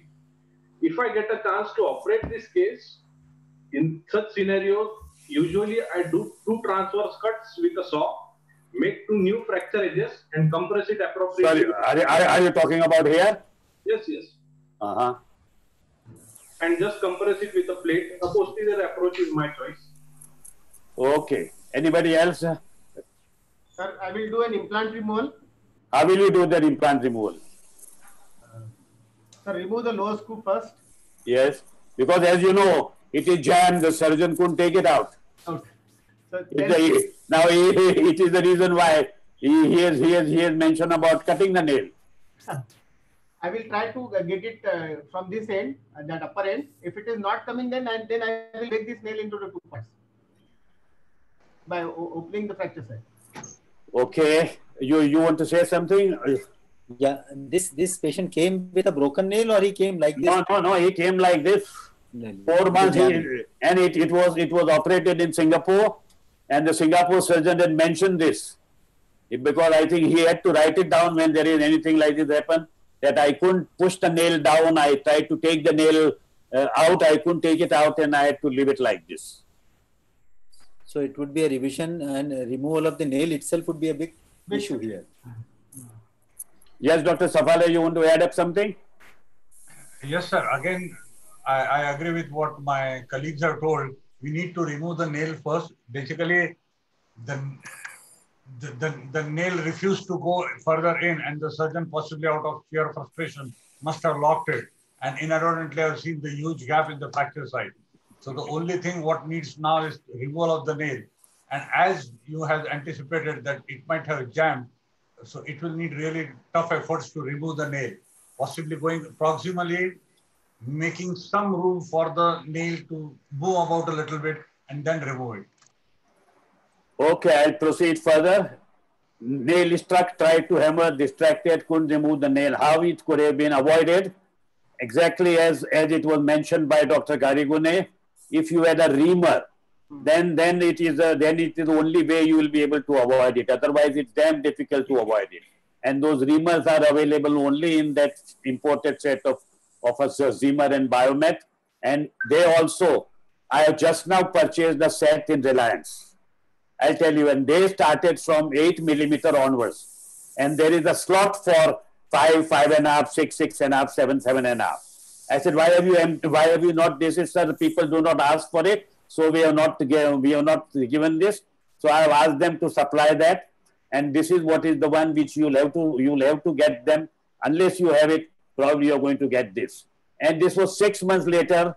Now what happens is, in six months time, the nail has already become loose. So for me, there was no issue at all. The whole thing could be removed very well. It was uh, then it was compressed, and then the fracture came out very easily without any problem. And here it is. He has a full range of movement.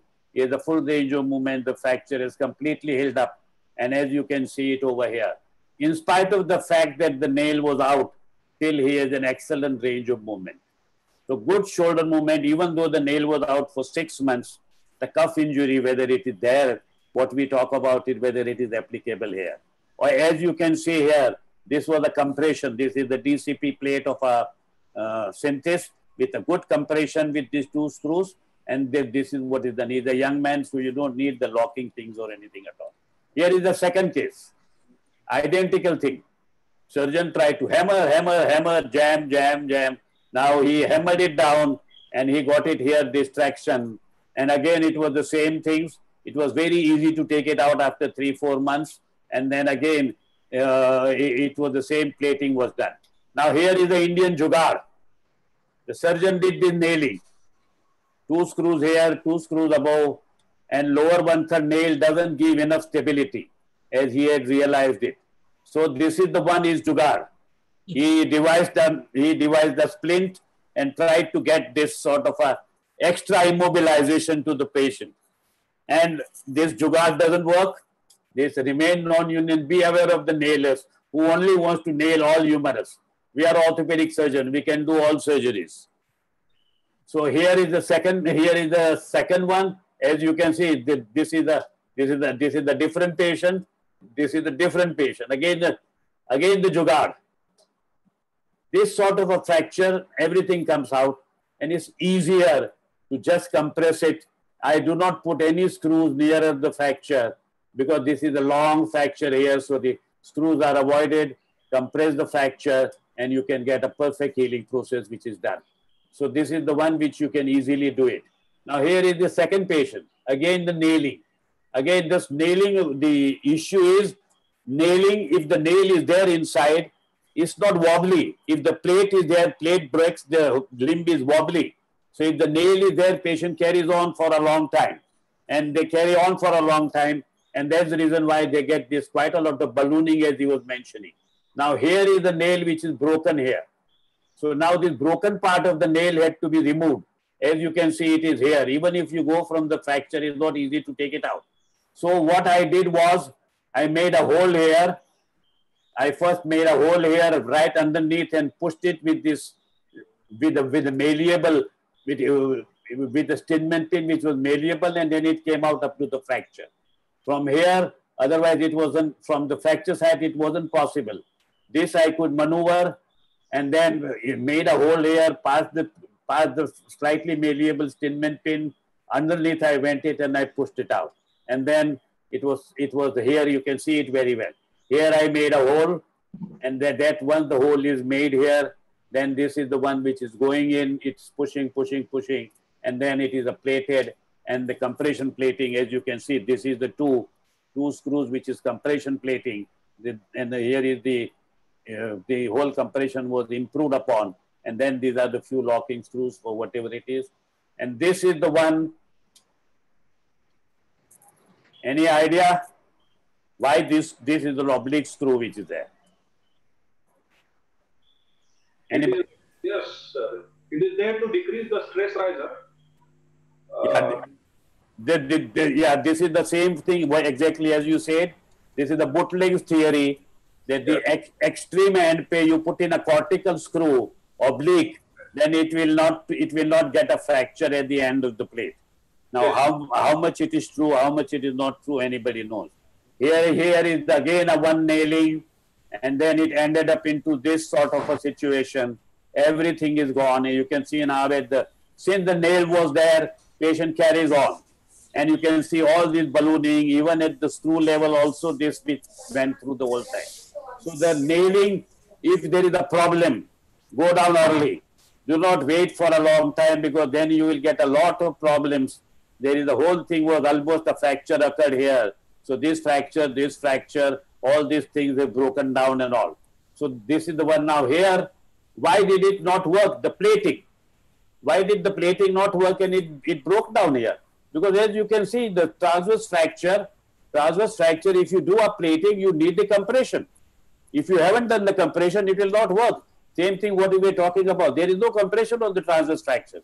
Transverse fracture heals with compression. So here it is.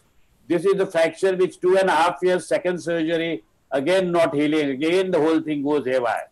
The surgeon, if he knows how to do the compression of these transverse fractures, he will, he will probably solve innumerable problems. This is a short plate. Initially, this is a very short plate no micro motion will occur. This is short plate, all screws is a rigid fixation without compression. This will not held up. And here also, as you can see, even he has put in four screws, but if there is no compression there, this is not going to function. So here it is now, this is the one on day one, three screws which are there above, this is the fracture, this is in the fracture, and as you can see, this is the one which is never going to heal up. And this is the one which ultimately ended up into infection. So when I went there, the whole infection which was there, and then ultimately I went down and put in the put in the beat those those uh, calcium calcium sulfate beads with uh, antibiotic, and then the, this is the reason. Ultimately, the whole thing is heals up with the plating. So I feel that it is a much easier to do this plating. Leave aside the fracture side. Do nothing there. Get the compression here. Get the compression there and since it was a non-union in the slightly elder lip, uh, about a, he was a 60 year old, you put in these, these two locking screws. These are the two compression screws. You've done the compression and then you put the two locking screws. Keep this area unaffected. And I always do the grafting over here after shingling. And this is the one which heals up ultimately. Now here was the fracture. The nailing was done. And as you can see, four months there is a gap and the nail which was there. So again, there was the plating was done. The plating which was done also, again, there is no compression and there is probably also no grafting. He, he could have he could have probably avoided it if he had grafted it second time. And this also ultimately goes into after four months, this is the second operation. This is also gone into non-union. So this is the fifth, uh, third operation. Again, you can see there are five, six screws, and still five months after the third operation, this has gone into non-union. Basically, compression and the shingling and do the grafting, allow the newer areas to come in. So the shingling, as I've been talking about, shingle here, shingle here, and put in the bone graft here, and do the long plate. Do not put the screws near the fracture, and this is the one will ultimately heal up. So this is the one 12 months after ultimately it healed up. So this transverse fracture, if it is a short oblique transverse fracture, transverse fracture heals up with primary intention. It must be compressed and rigid fixation. This short oblique again, as I've been talking about it again and again, do not put a lag screw. Lag screw will create a problem. You must understand. I think we have taken it again and again. There is a different class people who come here. This short oblique fracture, if you want to do the compression, do not put the first screw into the acute angle. If you put the first screw into acute angle and compress it, it will displace. So first screw always into the acute angle and it will displace. And that is the reason why you do not, you put it into the obtuse angle, the first screw. And when you compress, this is the one which is going to compress well. This is one which we have to know how to compress the oblique fracture. This is the one which is very, very important. We all know about it. And we also know about this transverse fracture and the compression which you have to get you get two compressions or one compression. As you can see here, they are only long plate, nothing in between, two screws above, three screws above, and still the whole thing heals up. So I feel that is not necessary the if the length of the plate is more important than the length of the screws. Ideally, I would still say there would be three screws above, three screws below with a long plate. That is the one which is ideal here. And now so many people, when we're doing the plating, unless there is going to be the contouring of the plate, this will open out here. Everything has been spoken. We have learned it in our undergraduate studies, and we have learned it in the postgraduate studies, and still people go on doing this surgery. And that's the reason why you got to see this very well. And if you do not have a Muller device, if you do not have the Indian plate which does not have those things, this is the this is the plate holding forceps. This is the one which is works marvelously well you do the you do the uh, fracture and then put in the screw here and then give the tension to the fracture. There are two screws on the opposite side. Give a give a tension, hold the fracture, give a tension by tightening this, so th this will come nearer and you will get the compression. And when the clamp is on, put in the screws here. This is the one which is the easiest way. As you can see it over here, this is the easiest way because every Indian one do not have a Muller device. And even if the Muller device is there, it may not be functioning.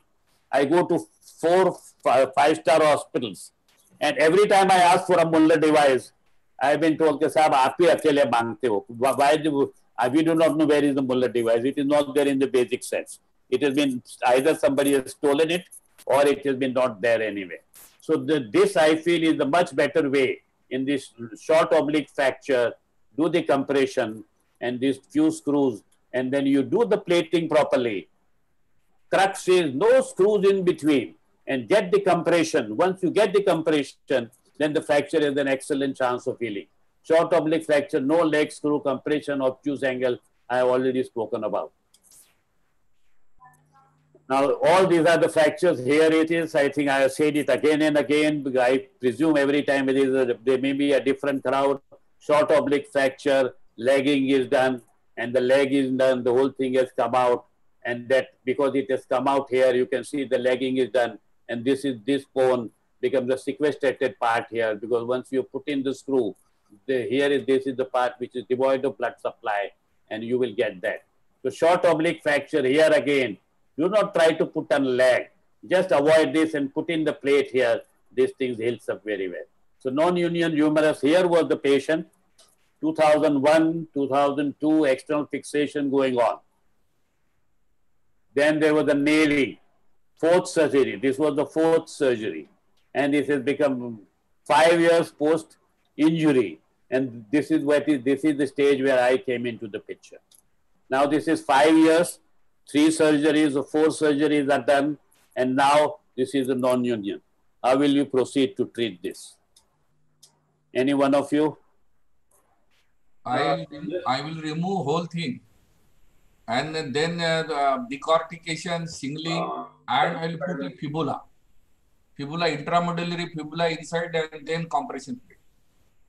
Yes, this is exactly what was done. So all this was broken, as you can see. This drill point was broken, and it, I think it's uh, all this you can see the drill point was broken. So first and foremost, I removed the nail. Now the drill point was there. So under C-arm, you have to go around, find out the find out the drill point, again look it out and take it out. Because once you're doing it, you're going to do the whole thing. You're not going to leave that drill point there just because it's difficult to take it out. So once it was taken it out, now I did the reaming. Once I did the proximal reaming, as I could see, I'm holding the fraction. This is the other end. And I'm trying, trying to make the passage for the fibula once I did this, this was it was going on the one side only because this was probably the it was filled up with fibrous tissue. So again, you had to make with the sharp awl, you had to make the passage in the center. So once you go to the sharp awl, make the passage in the center, put a dilator or a hand reamer and uh, you ream it anteriorly, and then you put in the fibula there. You put in the fibula, and then ultimately this is immediate post-op and this is eight months time, and this is now 15 months time. The whole thing is held up extremely well, as you can see. And his, his range of movement, obviously, after five years, it is restricted. It's not going to be a full range of movement. Still, he has got a functional range which he can carry on. Now, here is the long oblique fracture which was treated conservatively. And as I said, this sort of a fracture, which is not a stable fracture, conservatively treated, it is to be either a transverse fracture or a short oblique fracture, which is not shifted. So this is how long oblique lag screw and a rigid fixation. And sorry, there is a post-op X-ray which was there. Now, now I come to this fracture here. This is the one which was the leg was done, and then it went through a lysis. I think Dr. Gadegone just now mentioned about it when he was talking if the patient has no pain, do nothing. This is the patient who had no pain. It was very well fixed up and there was no pain there. This is two, three months as you can see. And this went through again the lysis and this stage which you came, obviously the temptation was to do the grafting. Since there was no pain, decent fixation, all the screws holding and everything, wait, waited 11 months, waited waited, and then the whole thing is held up in one year plus. So you don't need to operate if in case there is no pain and a good stable fixation and the person is, doesn't have any pain. Here is the second case, fracture, not healing, gap, waiting, waiting, and ultimately at the end of one year, this heals up. Here is a third case, six weeks, going on and on, five months, nine months. And then you can see the whole thing which is going through and through. And so all these are the ones on day one, if you've done a good surgery and if the patient has no pain, you don't have to wait. I have a series of x-rays which I talk about it. If the good fixation is then a long plate is there with adequate sizes of the screws and the patient has no pain, this is going to heal up ultimately very well. Now here it is a power, this is three months. You can see this is the one. But you can see there is a good fixation there. Pawar which is waiting. Again, this was waiting. Again, this was waiting. Nine months going through. And there it is, one and a half year, the whole thing is held up. So I feel that this is the very important information which Dr. Gadegone gave you there. Waiting it, if there is no pain, the fracture will heal up without any stable. The stable fixation long time it takes. Patient is asymptomatic.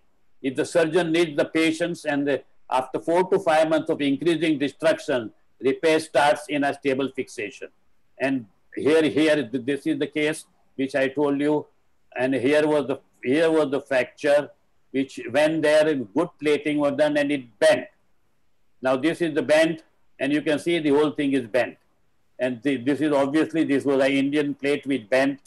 I might have a hypothesis, right or wrong, I don't know. If it is an Indian plate, it will bend. If it is an imported plate, it will break. It will not bend. Probably the material which is used, 316 LVM, that is the one which is used now. And at, at one state, they were using 316 only, and that used to be a softer material.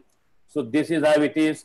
Again, the third surgery, you're going through the whole thing, six months, five, six months after the third surgery, uh, 20 months after the third surgery, and then ultimately the whole thing is healed up. So you wait enough, slowly the fracture will take its own time and then it will heal up. Now here was a small plate. I did the lag screws. Wrong thing. This is my own case. I because that um, that plate which was a metaphyseal plate was not available. So in order to bend this plate going right down, because the fracture was lower down, I used the thinner plate. And then I used the thinner plate, this thinner plate bent down.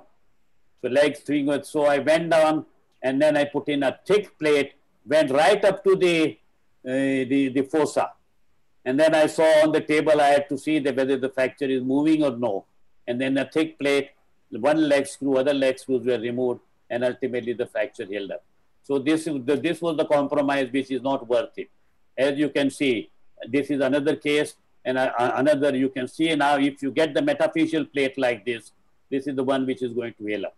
Here was a fracture, again a non-union, the surgeon did the nailing. It was a, it was a um, segmental fracture, one side healed up, probably the second side not healed up. So added up a little piggly little plate there and you can see the plate is also not doing the job. It's not long enough. There is so much of a gap. And at this gap, only the plating itself is not going to work. This fracture distally has held up. So th this is the stage I saw the patient. This is the one now, it is the both oblique, 18 months now. Now you can see the whole thing is completely gone. The fracture is not held up. This is the one which is all the screws are AOIR. So I went down again, put in the fibula, again put in the sh again shingling and put in a lots of bone graft there. These two screws, I didn't find it and I didn't go to find it. And then th this is the one ultimately, for my peace of mind, I gave this, which was probably not required.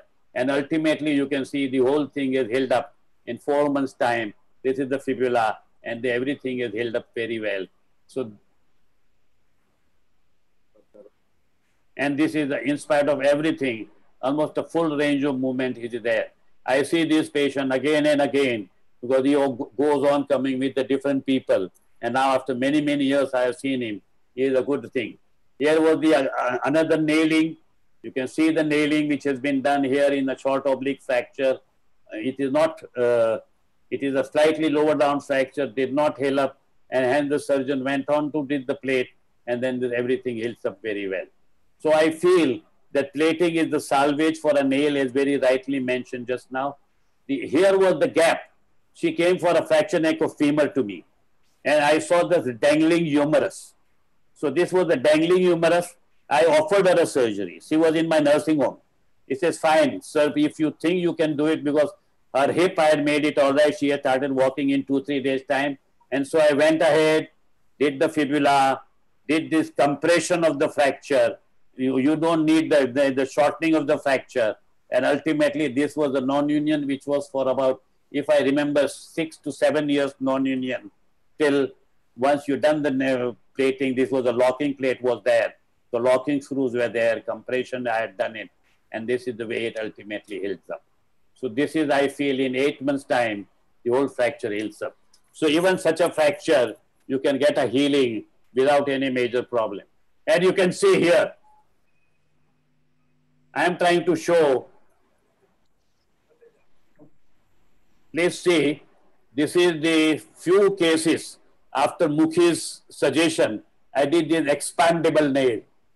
You can see this is an expandable nail and I'm showing the video how the nail genuinely expands. Now here is the nail. Once you start putting the putting the water in the, the nail here, you start putting the putting the putting the water and you can see this.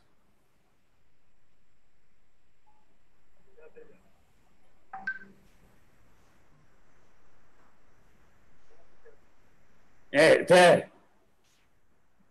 Yes. Viagra So you can see this, this inflatable nail. It is a it is a nail which is the inflatable nail, and uh, it is the one which you can see it very well. The the fracture heals up because it is really very good. This is contraindicated here. This is only for the shaft somewhere here, and somehow there is a differential expansion occurs, which I couldn't believe it. But if there is a isthmus has come here and it cannot expand, but then the fracture is here, it will expand at that level. So it was quite surprised. Here was the second case, again with that sort of a nail, and this is the point of entry, and this heals up. So this is the, I think Dr. Mukhi had introduced this expandable nail to me, and ultimately it stopped being available. So I stopped doing it. This is a very expensive nail. At that time, it used to be 35,000. I think uh, now it is not available in Delhi. It is still available. I had asked from Delhi once or twice, but it, it, they couldn't supply it in time. So this is what it is. Here is, I had done this case first neck plating, then followed by nailing. I had not realized there that the plating, if you do, you got to do the nailing and still massive bone graft did not heal up. Everything went haywire. And ultimately you can see this, the collapse occurred, the nail broke down, the nail went up. The nail wasn't in. As you can see, the nail wasn't in. Yeah. But, but afterwards, the nail also went out. And this is the one which was ultimately treated with intramedullary fibula after two, three operations and all. Intramedullary fibula and the huge callus formation, six months time it is ill. So in conclusion, complex fracture humerus treatment mainly by plating for me I do not hesitate to do whatever it is needed for that one case. Thank you very much. Any questions or anything? Yeah. I'm here. so, uh, wonderful. Dr. Tanna, I have a question which has come up. Uh, there is a case of a 55 year old lady with the upper third humerus non-union with diabetes and six years of non-unions. How are you going to proceed for it? This is a I, question come from one of the participants. I think I have shown those two, three cases I have shown. Identical. Six years, the, the whole the whole thing must have expanded as uh, very rightly put in the fibula. Yeah. In, in, the humerus, you will not be able to put in the whole fibula. Yeah. So you will have to take the half fibula. You can actually retrieve half fibula. Okay. You can you can put a multiple drill holes, or if you have a micro saw, you can take out half fibula. Uh, taking out half fibula, the bleeding doesn't occur. You don't have to do much. You take out that half fibula and put in the fibula there, shingle it out, compress the nail, put in a good plate, and come after compression, if needed with the Muller device or the Weber device, which I mentioned. And there is an extremely good chance of healing. To the extent I will make a vague statement, which is, cannot be substantiated by statistics after putting in all these four, five, six surgeries and five years later, putting in intramedullary fibula, I have yet to fail in that sort of a situation. But it is not intramedullary fibula. It is shingling, up and down shingling. It is a cancellous bone graft all over and the intramedullary fibula. And, and one thing, uh, if I can ask you, Dr. Dr. Yogesh, yes, sir after intramedullary fibula, how will you achieve compression? Yeah. If I can ask you. Pardon me if I can. I hope you don't mind me asking you first. Oh, absolutely no Basically, in process of, in the process of healing, you are making all the factors. No, no, no, no. Please, please understand the question. We have to remit, remit, remit. Eight second. वो तो ream हो गया. Everything has been done. That, that is the whole whole different topic. How to put in the fibula. Yeah. But once have you put in the fibula, yeah. how will you compress the fracture? That is what is my question. sir, you have to overream this thing and use a shorter length fibula so that you can have a proper compression. नहीं नहीं compression a होएगा of का? Sir once you are fixing the proximal part and the distal part, if you need to have some sort of a space intramedullary so that you get both the fragments close together. No please understand I, i'm asking this question specifically. It is a it is a yes yes doc you want to you want to talk about it nitin? Yes, sir. Uh, by the Muller's device or the device you have shown with the uh, clamp outside the plate, you can then pull it uh, there and then you can uh, compress the. Yes, anybody else? There is a trick, there is a trick into it. If you understand it, you understand it. If you, if you do not know, I'll, I'll talk about it, pardon me. The- If you cannot do it with the Muller device on the second hole and the third hole, because then it will go through the fibula. Once the screw goes through the fibula, whatever the Muller device you do, it is not going to function. And hence, hence, you will have to go at the end of the fibula. And at the end of the fibula you put in the the plate is to extend at the at the lower border of the fibula. Now you put in the muller device. And now you compress. Now you will be able to get the compression of the fracture. If you do the dcp holes if you or if the if it is the screw if you are not into the below the fibula end of the fibula you will never be able to get the compression of the uh, the fracture so that is the, that is the trick which you have to use it in order to get the compression into this intramedullary fibula. I'm sorry to ask you, Yogesh, please. No, no, sir, absolutely no. My this thing got distracted just just now. Uh, Will, will you please repeat it, sir? Because my internet connection was some. Okay, I'll, I'll repeat for you. Can you hear me now? No, he, his int- uh, connection is interrupted. Yeah. Can you hear now, Yogesh? Yes, sir. Yes, sir. If you put in the DCP device and if the lower screw, you put in one eccentric and the lower eccentric screw, if it goes through, through the fibula itself, then you will not get the compression because the fibula is there. Yes. So you will have to go at the end of the fibula Right. and then you will have to put in a Muller device at the end of the fibula. And then you press the Mu- Muller device and now the bone will compress. The fibula will, will glide inside in the fracture. All right. So the, so the fibula also doesn't have to be tight fitting. Otherwise it will not glide, it will not allow the compression. I got it, sir. Okay? I got it, sir. Thank you. Sir, can I ask you a question? Uh, Of course. Yeah. Uh, in a young patient with transverse fracture, and if you are using a plate, uh, what would you uh, like to use, a DCP or a cortical or a locking construct? in a young patient, you don't need a lock-in plate. Uh, but today it is difficult to get an ordinary plate. So you use a, whatever the plate which is. I use an imported plate all the time. Most of the time it is an ordinary plate is also available or a locking plate also is available. But I don't use the locking screws. I use the I use the cortical screws in all three of all the holes which I using because if he is a if he is a 25 28 year old there is no problem. Or you may put one one screw on either side a locking screw for whatever your peace of mind that it is uh, the whole thing will not come out. But otherwise it is perfectly all right. So, Nitin, are there any questions in the chat box? Uh, if you can ask. I I want to make a statement that uh, it's uh, in the early part of your career, it's very difficult to be a nailer in humerus. Sorry, So- sorry, sorry, sorry, sorry. In the early part of your orthopedic career, it is very difficult to be a nailer in humerus. You could be a better plater in your humerus, and as you as you get experience, you can go in for some nailing of humerus. Because nailing is a still difficult procedure than plating. No, I don't. uh, I don't think so. I don't think so. Is it is a difficulty is in the mind. It is not in execution. The plate also, if you don't do it properly, if you have not been able to compress, if you have been able to stripping of the uh, the whole periosteum, the plating also, I think, very rightly into the past, which we me and uh, we and Dr. Chandak mentioned. You go to the fracture area where, because of the fracture, a small periosteum is elevated only from that area you you hold it you reduce it and only cut where there is enough space which is there for the plate to be there. So all the soft tissues above and below then everything is there. Do not really hold it up with it and don't make the bone white and don't do the plate like that. So you'll have to keep the plate with, uh, with the artery you'll have to reduce the fracture hold the fracture to ask the assistant to hold the fracture put in the plate, see that it is properly all right and compress it. Once you've done the one compression, now the whole thing is in the position. Only thing you need to see that upper hole and lower hole are right into the center of the humerus. Right. Point taken, sir. Can I take a question, sir?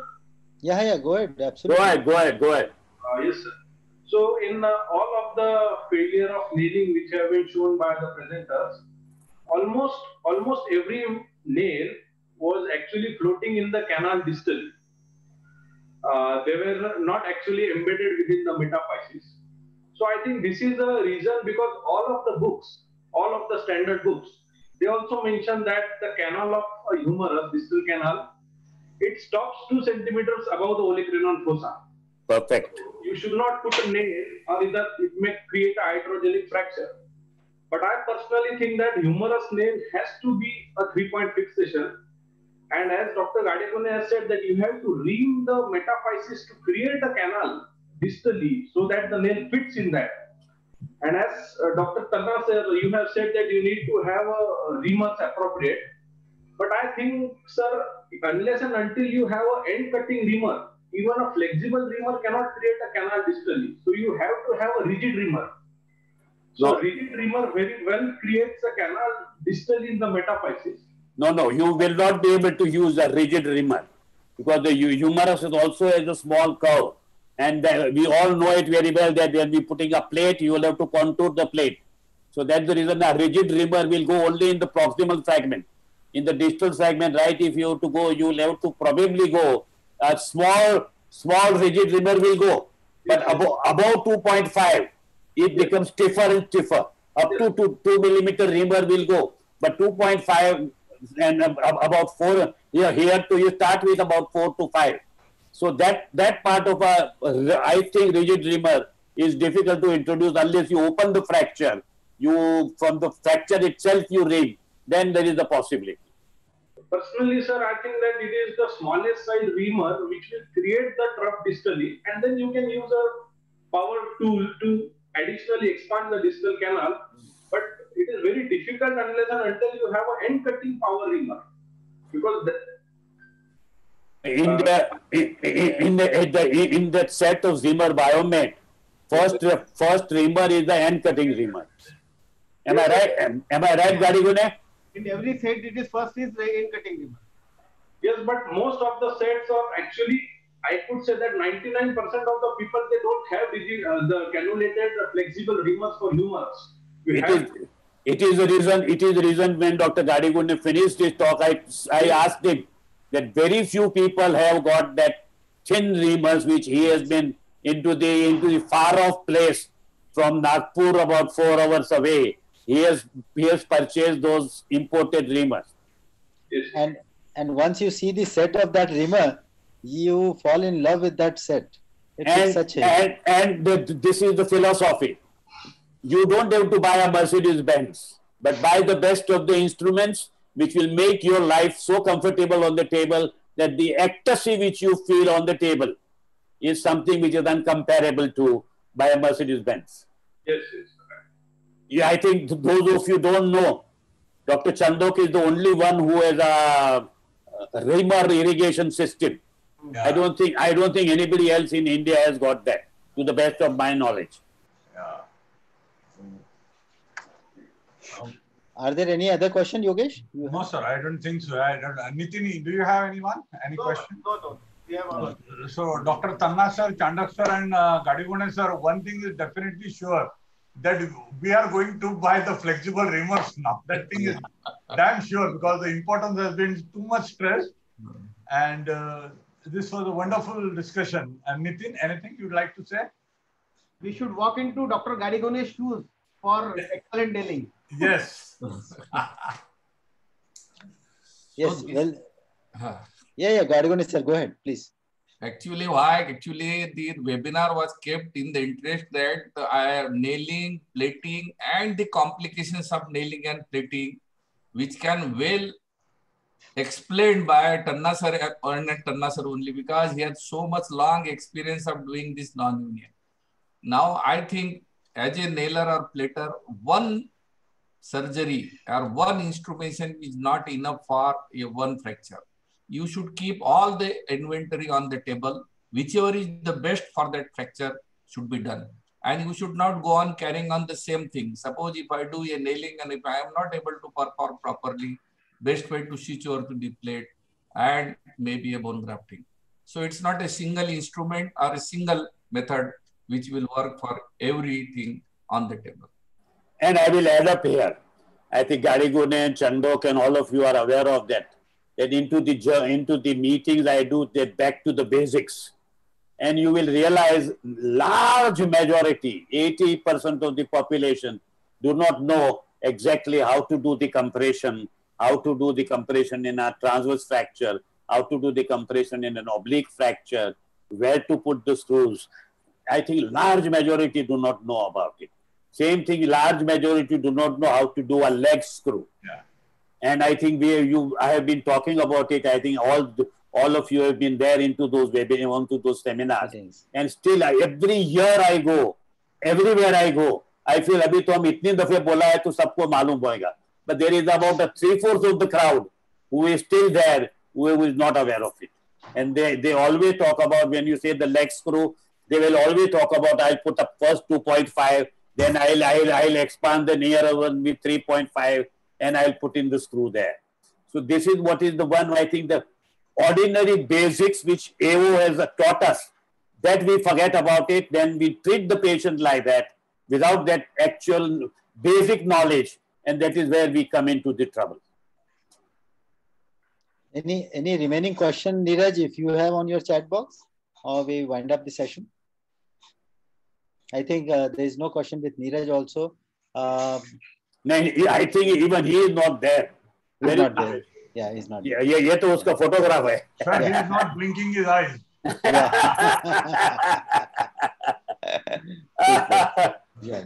So many times the questions are there on the Ortho TV. So if that is not there, um, Gadegone sir, uh, do you do plating ever? Humerus? Uh, humerus plating ever you do? No, no, I do it. I do it. I do it. I, I, you do it. अरे इतना JCO में तो काफी share करता मैं yes sir yes sir yes he, he, he is an orthopedic surgeon he is not a nailer yeah right absolutely right so i think we have to pick up the right technique for a given indication and given patient mm-hmm. that's perfectly said and uh, that was marvelous tanna sir's lifelong experience we could see on uh, repair of a non-union with all those finer tips how to place the fibula how to compress fractures and how to do a shingling that was wonderful a learning process thank you sir thank you yeah neeraj is there Yes, sir. Neeraj, uh, any remaining question? If not, no, I, then I have then... sent everything. I have sent whatever were there. Yeah. So okay. I, I have a question. So Manman has a reamer of six and seven. So with a reamer of six, do you think we should uh, start doing humerus nailing? Absolutely. If you have it, there is no issue about it. I don't have it right now, but maybe if it they have six, then maybe we can consider doing. But I think humerus nailing had a downward trend throughout. I don't know whether what is the situation right now. Overall, um, there is a downward trend. Sir, there is the, the people are coming with apparent humerus nails for apparent humerus fracture. So we have to learn that art of apparent. Eight, eight second, eight second. I think you are confusing two things. But Proximal humerus nailing is now established procedure. Procedure. Yeah, yes. yes. We are talking about the shaft, shaft humerus. Shaft humerus. so don't confuse those two things. Yes. Because the proximal humerus, we all did philos. Yeah. But while in a in a two-part fracture or a three-part fracture and displaced, nailing is a much better operation than philos. Yeah. Right. It is established very well. Absolutely. Absolutely. Well said. Uh, one, one question to Dr. Tanna, sir. Yes. Sir, why somehow the retrograde nailing hasn't picked up so well as an antegrade nailing? I think it's a very good question. Uh, and as you, you would expect, I have tried it in my life. It's a, um, it's a very tedious procedure. And then you go on hard bone, you go on reaming it, reaming it, making it bigger, bigger, bigger, bigger. You can execute it. It's not that you cannot execute it.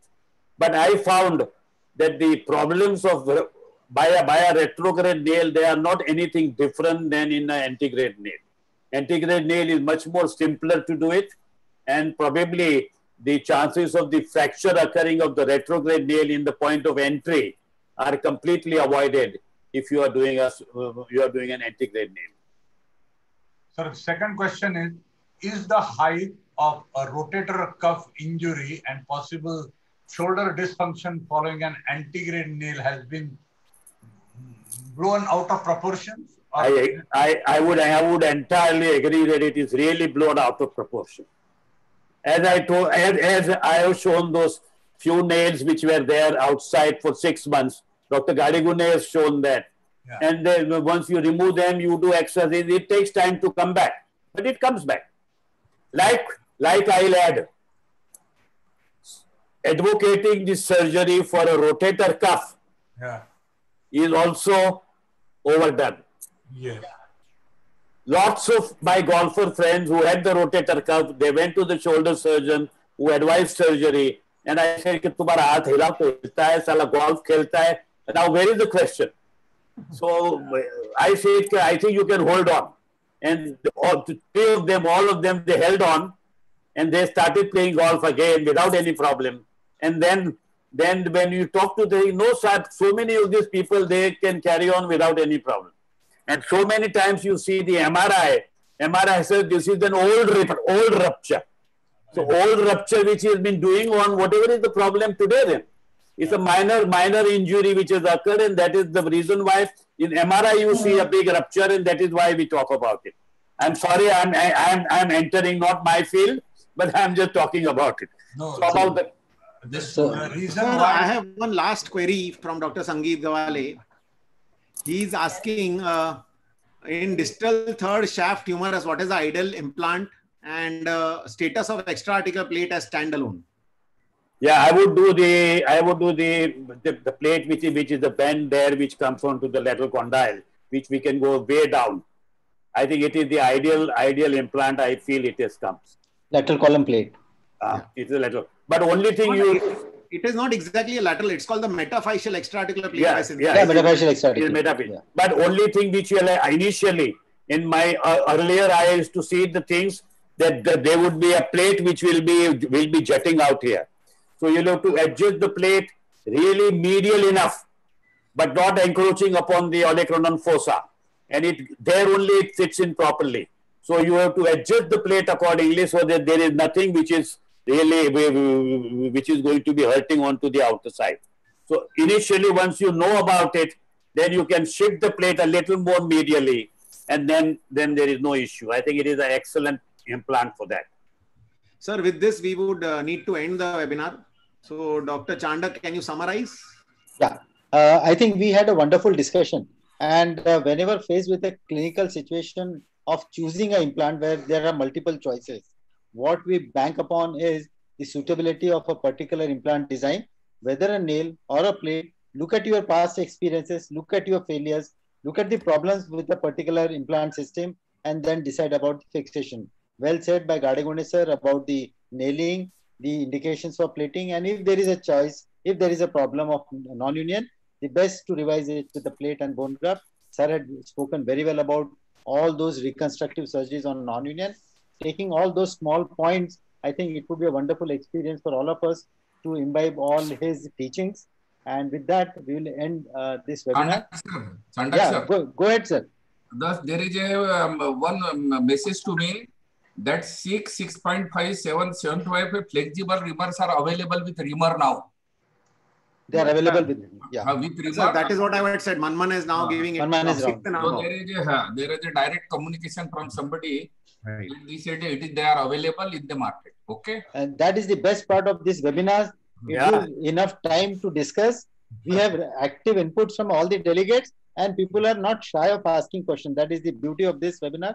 And So- thank you, Ortho Portal, for um, Ortho TV for giving us this wonderful platform. Wonderful. Thank you, sir. Thank you, sir. Bye bye. Thank thank.